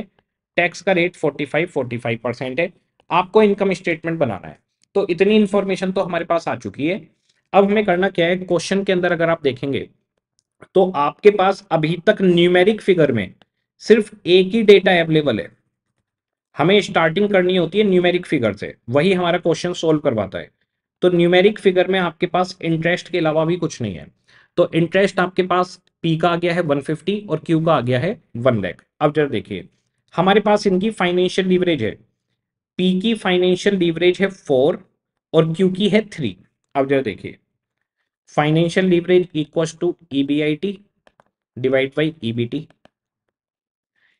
EBIT divided by EBT minus EBIT minus interest EBIT में से इंटरेस्ट हटाओगे तो ईबीटी आ जाता है फाइनेंशियल लीवरेज दी हुई है फोर इंटरेस्ट दिया हुआ है वन फिफ्टी पी के लिए बता रहा हूँ मैं अब ये ई बी आई टी और माइनस वन फिफ्टी सामने जाकर मल्टीप्लाई हो जाएगा तो E B equal to four E B minus interest हो गया सिक्स लैख। अब ये four E B I T यहाँ पर आकर माइनस हो गया, माइनस का three E B I T equal to minus का सिक्स लैख। माइनस से minus cancel E B I T equal to two lakh. तो पहले वाले का E B I T two lakh आ गया। ये आ गया जी पहले वाले का E B I T two lakh. इसी तरीके से दूसरे वाले का ई बी आई टी भी हम निकाल देंगे। तो हमारे पास कंपनी ए के लिए टू लैख आ गया। सेम ऐसी कंपनी बी का। Financial leverage equal to E B I T divide by E B I T minus interest यहाँ इंटरेस्ट एक लाख है और फाइनेंशियल लीवरेज थ्री है। सोल्व किया, इसका ई बी आई टी आ गया वन फिफ्टी ये one fifty E B I T आ गया। अब जरा देखिए, यहाँ से नीचे तक का पूरा बन जाएगा ई बी आपके पास है दोनों का। इंटरेस्ट माइनस किया ईबीटी आ गया टैक्स रेट दिया हुआ है अर्निंग आफ्टर टैक्स आ गया। तो यहाँ से यहाँ तक का तो सोल्व हो गया। अब ऊपर जाना है। तो आपके पास ईबीआईटी है कॉन्ट्रीब्यूशन और ईबीआईटी ओएल से लिंक होते हैं। तो ऑपरेटिंग लीवरेज पहले वाले की आपके पास आई थी five operating leverage equal to contribution divide by EBIT EBIT मुझे पता है दो लाख है। ऑपरेटिंग लीवरेज फाइव टाइम्स है। दो लाख फाइव में मल्टीप्लाई हो जाएगा कॉन्ट्रीब्यूशन इक्व टू दस लाख निकल आएगा। तो पहले वाले का कॉन्ट्रीब्यूशन दस लाख आ गया। फिक्स्ड कॉस्ट बैलेंसिंग फिगर बनेगी आठ लाख रुपए। ठीक है। ऐसे दूसरे वाले की सोल्व हो जाएगी। अब इन्होंने पीवी रेशो दे रखा है ट्वेंटी फाइव परसेंट है। तो हमारे पास ये जो कॉन्ट्रीब्यूशन दस लाख और छह लाख लिखा हुआ है, ये हो गया ट्वेंटी फाइव परसेंट और thirty three point three three percent आप दस लाख को, दस लाख रुपए सेल का पच्चीस परसेंट है तो सेल कितनी होगी? चालीस लाख। वेरिएबल कॉस्ट आ जाएगी बैलेंसिंग फिगर और सिक्स लैख है आपकी थर्टी थ्री परसेंट तो सेल कितनी होगी? एटीन लैख तो इस तरह से इनकम स्टेटमेंट बनाना होता है। ये जो इनकम स्टेटमेंट होते हैं आईसीआई कई बार इसको फाइव मार्क्स में देता है, कई बार टेन मार्क्स में। ये आईसीआई की मर्ज़ी है, पाँच नंबर और दस नंबर दोनों में से किसी भी जगह पर आपको एडजस्ट कर सकता है। मोस्ट ऑफ़ द टाइम जैसे ये क्वेश्चन है, इसमें अच्छी खासी वर्किंग है तो ये दस नंबर में आएगा। अगर सीधा सीधा डेटा दिया होगा तो फिर फाइव मार्क्स में देगा आपको। इसके बाद हमारे पास क्वेश्चन है बड़ा फ़ेमस क्वेश्चन आया था BBQ twelve earning after tax sale का फाइव परसेंट है। Income tax rate fifty percent है। Degree of operating leverage four times है। टेन परसेंट डिवेंचर है तीन लाख रुपए के तो तीस हज़ार का आपके पास इंटरेस्ट हो गया। वेरिएबल कॉस्ट छह लाख रुपए है, ठीक है। फिर इन्होंने यहाँ पर ये स्टेटमेंट आपको दे दिया, ये क्वेश्चन के अंदर ये सेल माइनस वेरिएबल कॉस्ट छह लाख रुपए contribution fixed cost EBIT interest यहाँ पर हमारे पास तीस हज़ार रुपए आ गया। यहाँ तीस हज़ार लिख देता हूँ मैं थर्टी थाउज़ेंड ये गिवन है। ईबीटी इनकम टैक्स ईएटी तो कह रहे हैं आपसे कि आपको सबसे पहले इसे कंप्लीट करना है स्टेटमेंट को। तो देखिए अगर मान लो हमारी सेल है एक्स या सीधे सेल भी ले सकते हैं कि सेल का मतलब सेल्स है।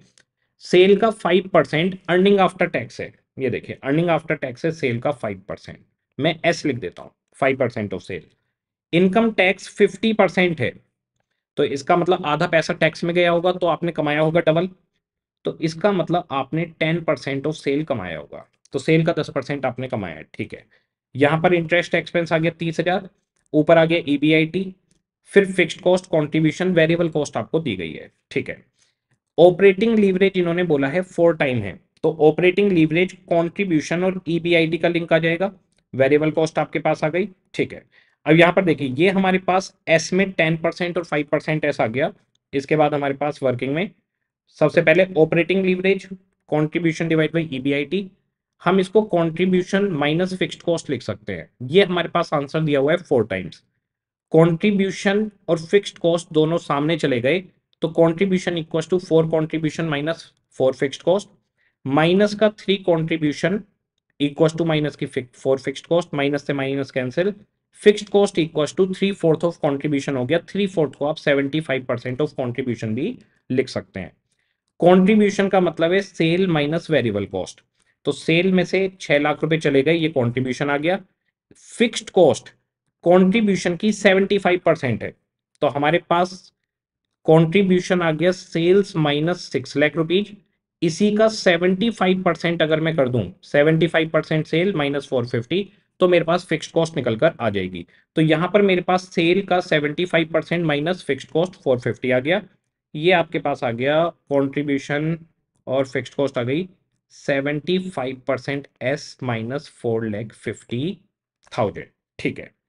इसके बाद में हमारे पास अर्निंग एक मिनट आता हूँ, मैं गेट पे कोई आया हुआ है। One minute one minute one minute one minute एक मिनट आ रही बस।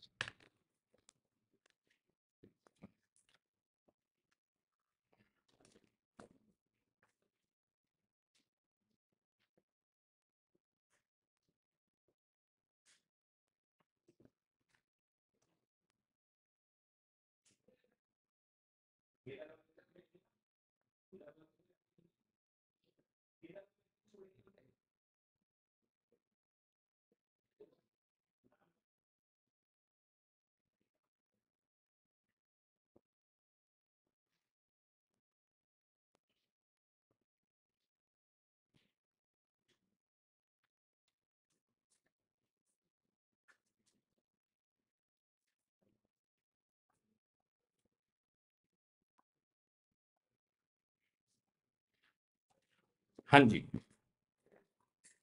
वन मिनट देखिए, अब हमारे पास यहाँ पर जो डेटा इकट्ठा हुआ है, अभी तक हुआ है seventy five percent of sale minus four fifty EBT ten percent of sale है और फाइव परसेंट ऑफ़ सेल आ गया EAT income tax five percent of sale यहाँ पे ऐसे लिख सकते हैं। आप एक्स मान के भी कर सकते हैं, ठीक है। अब हमारे पास E EAT equal to sale का फाइव परसेंट है तो ईबीटी सेल का दस परसेंट हो गया। ये हमारे पास निकल आया। अब जरा देखिए ईबीटी तक कैसे पहुँचेंगे? ईबीटी तक पहुँचने के लिए हमें चाहिए सेल्स माइनस वेरिएबल कॉस्ट जो दी हुई है कॉन्ट्रीब्यूशन आ गया। माइनस फिक्स्ड कॉस्ट जो हमारे पास seventy five percent of sale minus four fifty आ गया है। माइनस इंटरेस्ट जो हमारे पास तीस हज़ार रुपये आ गया है। Equal to answer ten percent sale आएगा। तो सेल में से वेरिएबल कॉस्ट यानी छह लाख रुपए अगर माइनस करें, ये देखिए, सेल्स माइनस छह लाख रुपए, माइनस फिक्स्ड कॉस्ट हो गई seventy five percent sale, minus four fifty. और फिक्स्ड कॉस्ट के बाद में हमारा इंटरेस्ट माइनस हो गया तीस हज़ार रुपए। ये हमारा ईबीटी आ गया और ईबीटी है टेन परसेंट सेल्स। ठीक है, अब इस इक्वेशन को सोल्व करेंगे, सेल हमारे पास निकल कर आ जाएगी। तो EBT equal to sales minus variable cost minus fixed cost minus interest ten percent sale का आपके पास आ गया ईबीटी सामने पूरी की पूरी फिगर रख दीजिए। बाकी न्यूमेरिक चीज़ें सोल्व कर लीजिए। यहाँ पर ten percent sale equal to इसको सोल्व करते जाइए और सेल इक्व टू बारह लाख रुपए आ गई। जैसी सेल आपके पास बारह लाख रुपए आ गई, ये पूरा स्टेटमेंट अब बढ़ता चला जाएगा।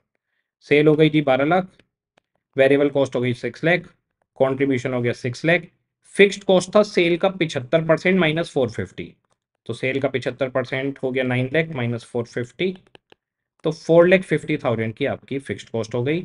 ई आपके पास बचा वन पॉइंट फाइव लैख तीस हज़ार रुपये का आपका इंटरेस्ट हो गया।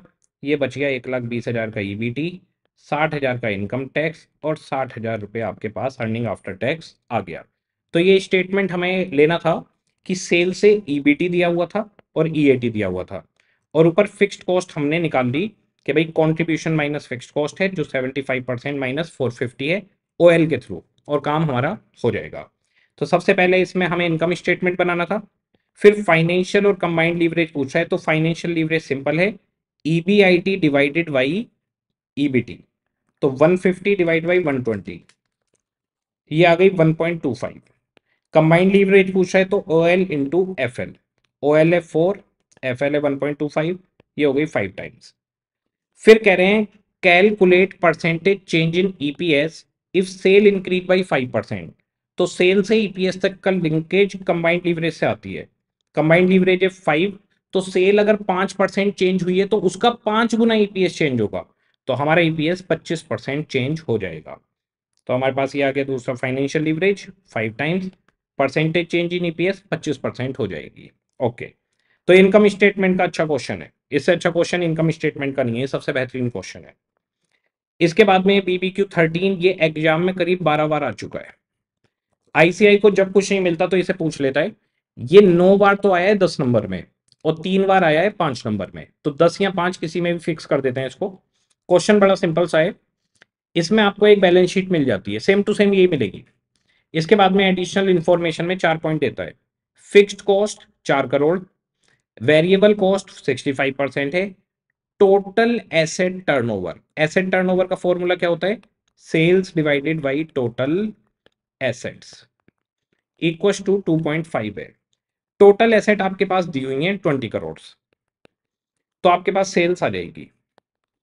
सेल आ गई आपके पास फिफ्टी करोड़ पचास करोड़ की सेल आ गई. Sixty five percent variable cost है माइनस कर दीजिए. कॉन्ट्रीब्यूशन आ जाएगा. फिक्स्ड कॉस्ट चार करोड़ है माइनस कर दीजिए. ईबीआईटी आ जाएगा. इंटरेस्ट दस करोड़ का पंद्रह percent one point five crore का इंटरेस्ट है माइनस कर दीजिए. ईबीटी आ जाएगा। टैक्स तीस परसेंट है। टैक्स माइनस कर दीजिए। ईएटी आ जाएगा। नंबर ऑफ़ शेयर पचास लाख हैं। पचास लाख शेयर से डिवाइड कर दीजिए। ईपीएस आ जाएगा। तो इसकी पहली रिक्वायरमेंट है ईपीएस वो सीधी कैलकुलेट हो जाती है। ये देखेगा sale fifty crore variable cost minus की कॉन्ट्रीब्यूशन आ गया। फिक्स्ड कॉस्ट दी हुई है। माइनस की ईबीआईटी आ गया। इंटरेस्ट डेढ़ करोड़ माइनस किया। ईबीटी आ गया। टैक्स 3.6 जो भी था चला गया। ईएटी आ गया। अब ईएटी को 50 लाख शेयर से डिवाइड कर दो ईपीएस आ जाएगा। 50 लाख शेयर से डिवाइड किया ईपीएस आ गया। फिर ओ एल एफ़ एल और सी एल पूछ रहा है। तो देखिए O L contribution divide by EBIT 17.5 divide by 13.5 ये आ गया 1.296 इसके बाद में ईबीआईटी e को ईबीटी e से डिवाइड करोगे 13.5 को 12 से, ये आ गया हमारे पास फाइनेंशियल लीवरेज और ओएल और एफएल को मल्टीप्लाई कर दोगे तो कंबाइंड लीवरेज आ जाएगी। 1.296 ये आ गया 1.458 ये तीनों लीवरेज निकल कर आ जाएँगी। तो 1.296 1.125 एंड 1.458 ये फाइव मार्क्स का मेरे हिसाब से बनता है, पर दस नंबर में एग्जामिनर इसको पूछता रहता है। एक है बीबीक्यू फोर्टीन ये आजकल हॉट क्वेश्चन बना हुआ है। इसके अंदर एक पॉइंट है जिसकी वजह से हॉट क्वेश्चन बना हुआ है, और ये नया क्वेश्चन भी ऐड हुआ है। ये क्वेश्चन नया ऐड हुआ है क्वेश्चन देखते हैं। अक्सर लिमिटेड है सेल्स ऑफ़ 68 लाख अड़सठ लाख रुपए की सेल है, ठीक है। वेरिएबल कॉस्ट है 60 परसेंट कोई दिक्कत नहीं है। आपके पास कंट्रीब्यूशन आ जाएगा वेरिएबल कॉस्ट माइनस करके।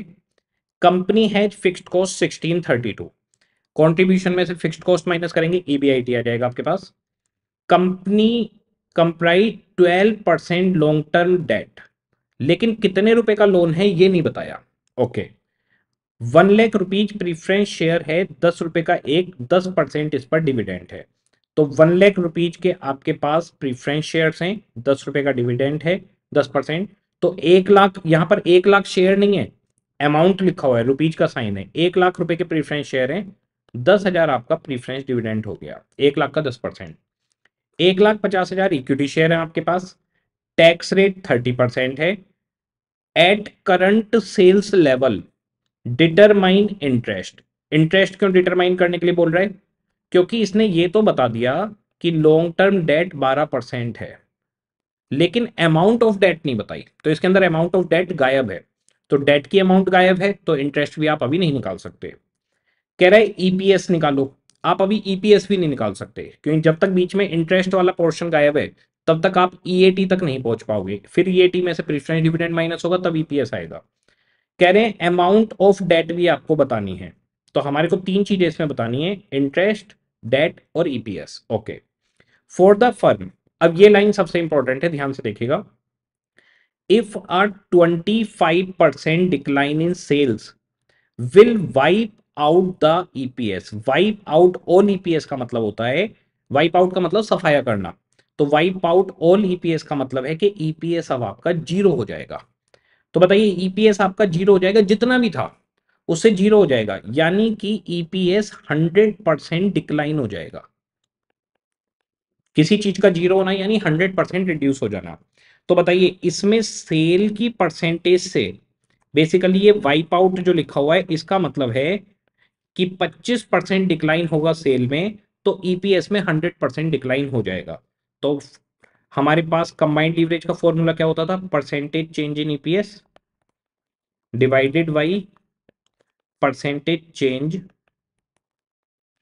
in sales अब कह रहे हैं ईपीएस का 100 परसेंट सफाया हो जाए, अगर सेल 25 परसेंट कम हो जाए तो। तो इसका मतलब हमारी कंबाइंड लीवरेज फोर टाइम्स है। तो इसमें सबसे इंपॉर्टेंट यही पॉइंट है कंबाइंड लीवरेज को समझ पाना। ये जो लिखा हुआ है वाइप आउट ईपीएस इसका मतलब है ईपीएस का सफाया हो जाएगा। तो 25 परसेंट सेल कम होगी तो ईपीएस 100 परसेंट साफ़ हो जाएगा। तो change in EPS 100 percent change in sales 25 percent four times आपकी कंबाइंड लीवरेज आ गई। तो यहाँ पे सबसे पहले हमें कंबाइंड लीवरेज निकालनी होती है फोर टाइम्स अब आपकी कंबाइंड लीवरेज निकल चुकी है फोर टाइम अब कंबाइंड लीवरेज का दूसरा फॉर्मूला हमारे पास क्या होता है? कंबाइंड लीवरेज का दूसरा फॉर्मूला है आपके पास contribution divided by EBT minus preference dividend divide by one minus tax इसकी हमें सारी चीज़ें पता है। कॉन्ट्रीब्यूशन कितना आएगा आपके पास? 68 लाख में से 60 परसेंट माइनस कर दो। सत्ताईस लाख बीस हज़ार का कॉन्ट्रीब्यूशन हो गया। ठीक है जी। सत्ताईस लाख बीस हज़ार का हमारे पास आ गया contribution divided by EBT EBT तक पहुँचने के लिए इंटरेस्ट चाहिए, वो मुझे पता नहीं। Minus PD divide by one minus tax equals to four times है। ठीक है जी। अब मैंने इसको सोल्व किया। तो दस हज़ार डिवाइड बाई पॉइंट सेवन ये हो गया fourteen thousand two eighty six तो twenty seven twenty divide by E B T minus fourteen thousand two eighty six ये फिगर सामने जाकर मल्टीप्लाई हो जाएगी फोर में। अब इसको सोल्व करेंगे तो ई बी टी निकल जाएगा six ninety four two eighty six अब जरा देखिए सेल से मेरे पास sixty eight lakh variable cost है मेरे पास sixty percent forty point eight lakh contribution मेरे पास बच गया twenty seven lakh twenty thousand fixed cost मेरे पास दी हुई है sixteen thirty two sixteen thirty two मेरे पास आ गया E B I T E B I T आ गया twenty seven twenty minus sixteen thirty two दस लाख अट्ठासी हज़ार। अब यहाँ पर आएगा इंटरेस्ट जो मुझे पता नहीं, फिर आएगा ईबीटी ईबीटी में निकाल चुका हूँ six ninety four two eighty six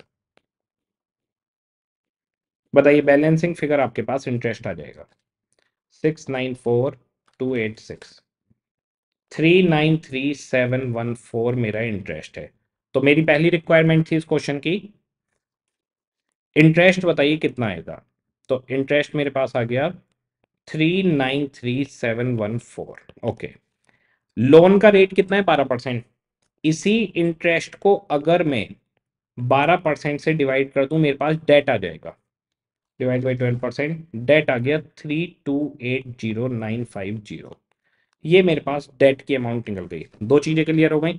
तीसरा पूछा है ईपीएस नंबर ऑफ़ शेयर कितने क्वेश्चन में? 150 शेयर है 30 परसेंट टैक्स है। ठीक है। ईबीटी तक मैं पहुँच चुका हूँ। 30 परसेंट टैक्स दीजिए। Six nine four two eight six multiply thirty percent. Two zero eight two eight six minus equal to four eight six zero zero zero इसमें से प्रीफरेंस डिविडेंड माइनस करिए, दस हज़ार। ये हो गया four lakh seventy six thousand earning for equity earning for equity को number of share से डिवाइड कीजिए। आपके पास ईपीएस निकल आएगा three point one seven three ठीक डिवाइड किया है मैंने? ठीक है। थ्री पॉइंट वन सेवन मेरे पास ईपीएस निकल कर आ गया। तो ये क्वेश्चन आएगा तो पाँच नंबर में दस में नहीं आएगा। पर ये हॉट क्वेश्चन है और इस क्वेश्चन के अंदर ये जो वाइप आउट ईपीएस वाली लाइन है, ये कई जगह पे देखी जा रही है आजकल। लेटेस्ट आरटीपी एमटीपी क्योंकि ये वाइप आउट वाली लाइन नई नई ढूंढी आई थी ने तो ये क्वेश्चन में लाइन आपको मिल सकती है। ये एक हॉट क्वेश्चन हमारे पास रहेगा। इसके बाद में हमारे पास है बीबी क्यू फिफ्टीन इसके अंदर हमने सारी चीज़ें रखनी है बीबी क्यू फिफ्टीन में, जो भी चीज़ पूछ सकता है इसे अ फर्म है sale of seventy five lakh variable cost fifty six percent fixed cost six lakh debt 45 lakh का है 9 परसेंट पर, और इक्विटी है 55 लाख के, ठीक है। सबसे पहले पूछ रहा है what is firm R O I तो फर्म आर ओ आई के अंदर हमारे पास, रुक जाओ जरा मैं यहाँ पर पहले इसका स्टेटमेंट लिख देता हूँ। Sales 75 lakh variable cost 56 percent seventy five lakh का fifty six percent forty two lakh contribution बच गया thirty three lakh fixed cost इसमें से माइनस कर दो सिक्स लैख सिक्स लैख चली गई ट्वेंटी सेवन लैख आ गया ईबीआईटी लेस इंटरेस्ट माइनस करेंगे फोर्टी फाइव लैख का nine percent four zero five thousand twenty seven lakh में से गया। ये बचा twenty two ninety five thousand E और कुछ इसके आगे टैक्स वैक्स दिया हुआ है। बाकी कुछ नहीं दिया हुआ। यहाँ तक की इन्फॉर्मेशन मेरे पास है, ठीक है। सबसे पहले पूछ रहा है रिटर्न ऑन इन्वेस्टमेंट तो रिटर्न ऑन इन्वेस्टमेंट यानी return on capital employed E B I T divided by capital employed multiply by one hundred R में अगर ना बताए आरओआई में देखो रिटर्न ऑन इन्वेस्टमेंट में तीन फॉर्मूले होते हैं. Return on capital employed return on share holder fund और रिटर्न ऑन इक्विटी क्वेश्चन अगर साइलेंट रहे कि आरओआई में किसकी बात कर रहा है तो हमेशा रिटर्न ऑन कैपिटल एम्प्लॉयड की बात कर रहा है. ईबीआईटी है twenty seven lakh capital employed कितनी है आपकी? फोर्टी फाइव लैख का लोन और फिफ्टी फाइव लैख की इक्विटी एक करोड़ की आपकी कैपिटल एम्प्लॉयड है. मल्टीप्लाई वन हंड्रेड सत्ताईस परसेंट आपकी आर आ गई। ठीक है जी R O I twenty seven percent. दूसरा point does it have favourable financial leverage तो आपका बताइए रेट ऑफ़ इंटरेस्ट कितना है? रेट ऑफ़ इंटरेस्ट है आपका नाइन परसेंट तो R O I is higher than rate of interest R O I है सत्ताईस परसेंट रेट ऑफ़ इंटरेस्ट है नाइन परसेंट तो यस आपकी लीवरेज फेवरेबल है क्योंकि आप कमा ज़्यादा रहे हो और पेमेंट आपको कम करनी है। तीसरा, if firm belongs to an industry whose capital turnover is 3 capital turnover yani capital employed turnover ratio, does it has high or low capital turnover? तो हमारी सेल कितनी है? पिछहत्तर lakh. Capital turnover equals to sales divided by capital employed sale है पिछहत्तर lakh capital employed है hundred lakh. Point seven five capital turnover हुआ। और इंडस्ट्री का टर्नओवर है थ्री तो हमारा टर्नओवर लो है। हम इंडस्ट्री से कम कैपिटल टर्नओवर पे हैं इंडस्ट्री का थ्री है, हमारा पॉइंट सेवन फाइव है। इसके बाद में कह रहे हैं what are the operating financial and combined leverage of the firm ठीक है जी। तो ऑपरेटिंग लीवरेज में contribution divide by EBIT thirty three lakh divide by twenty seven lakh one point two two तो हो गई हमारी ऑपरेटिंग लीवरेज फाइनेंशियल के लिए EBIT divide by EBT twenty seven lakh divided by twenty two ninety five one point one seven six one point one seven six है हमारी financial और combined इन दोनों को मल्टीप्लाई करके लिख दीजिए। One point one seven six multiply one point two two ये आ गई one point four three four seven four तो वन पॉइंट फोर थ्री हमारी आ गई। तीनों लीवरेज निकल कर आ गई। If sale increase by ten percent EBIT में कितना फ़र्क पड़ेगा? तो सेल से ईबीआईटी का फ़र्क ऑपरेटिंग लीवरेज से आता है। 1.22 है। तो ये 10 परसेंट बढ़ेगा तो इसका 1.22 10 इंटू वन ये 12.2 परसेंट इंक्रीज हो जाएगी। Second at what level of sales EBT of the firm will be equal to zero कितनी सेल पर ईबीटी हमारा ज़ीरो हो जाएगा? ठीक है। तो ईबीटी कैसे आता है? ईबीटी तक कैसे पहुँचेंगे? Sales minus variable cost minus fixed cost minus interest आप ईबीटी पर पहुँच जाएँगे। ईबीटी है zero sales minus variable cost है सेल का fifty six percent fixed cost हमारे पास है इस क्वेश्चन में सिक्सटीन थर्टी टू नहीं, ये वाला नहीं, ये वाला है। सिक्स लैख और इंटरेस्ट है चार लाख पाँच हज़ार। ये है चार लाख पाँच हज़ार। ठीक है जी। अब देखिए फोर्टी फोर परसेंट सेल रह गई। और ये छः लाख और चार लाख पाँच हज़ार हो गए, दस लाख पाँच हज़ार सामने चले जाएँगे। दस लाख पाँच हज़ार रुपये equal to forty four percent sales sales equal to दस लाख पाँच हज़ार divide by forty four percent twenty two eighty four zero ninety one तो twenty two eighty four zero ninety one पर सेल पर आपका ईबीटी e ज़ीरो हो जाएगा। और जी इसके अलावा कोई पॉइंट यस यहाँ पर ये पॉइंट इसमें बच्चे बहुत कंफ्यूज होते हैं. If EBIT increase by twenty percent what percentage of EBT will increase अब देखो ईबीआईटी से ईपीएस का लिंक तो पता होता है कि ईबीआईटी से ईपीएस का लिंक है, पर ईबीआईटी से ईबीटी का लिंक किसी को नहीं पता होता तो बच्चे इसमें कंफ्यूज होते हैं। तो मैं आपको बता देता हूँ, जैसे देखो, मेरा ईबीआईटी दस लाख है, ठीक है? और इंटरेस्ट है मेरा दो लाख। ईबीटी मेरा हो गया आठ लाख। अब मेरे पास टैक्स है फिफ्टी परसेंट चार लाख का टैक्स गया, चार लाख रुपए बचे ईएटी अब मेरे पास नंबर ऑफ़ शेयर है दस हज़ार। या एक लाख ले लेता हूँ, एक लाख नंबर ऑफ़ शेयर है। मेरा ईपीएस हो गया चार रुपए। ठीक है। ये हमारी करंट सिचुएशन है। अब अगली सिचुएशन देखते हैं। यहाँ पर जरा ईबीआईटी का ईबीटी से रिलेशन देखिए। फाइनेंशियल लीवरेज कितनी आ गई आपके पास? Ten by eight financial leverage है वन पॉइंट टू फाइव तो अब जरा देखिए ईबीआईटी में जितना भी चेंज होगा, अगर ईबीआईटी दस परसेंट बढ़ेगा तो हमारा जो ईपीएस है, वो 12.5 परसेंट बढ़ेगा। यहाँ से यहाँ पर रीजन बीइंग फाइनेंशियल लीवरेज 1.25 है।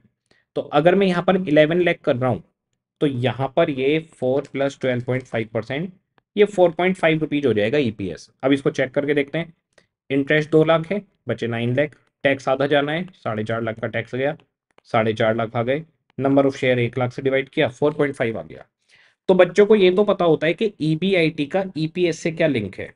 यानी कि अगर 10 परसेंट ईबीआईटी बढ़ेगा तो ईपीएस इतना बढ़ेगा।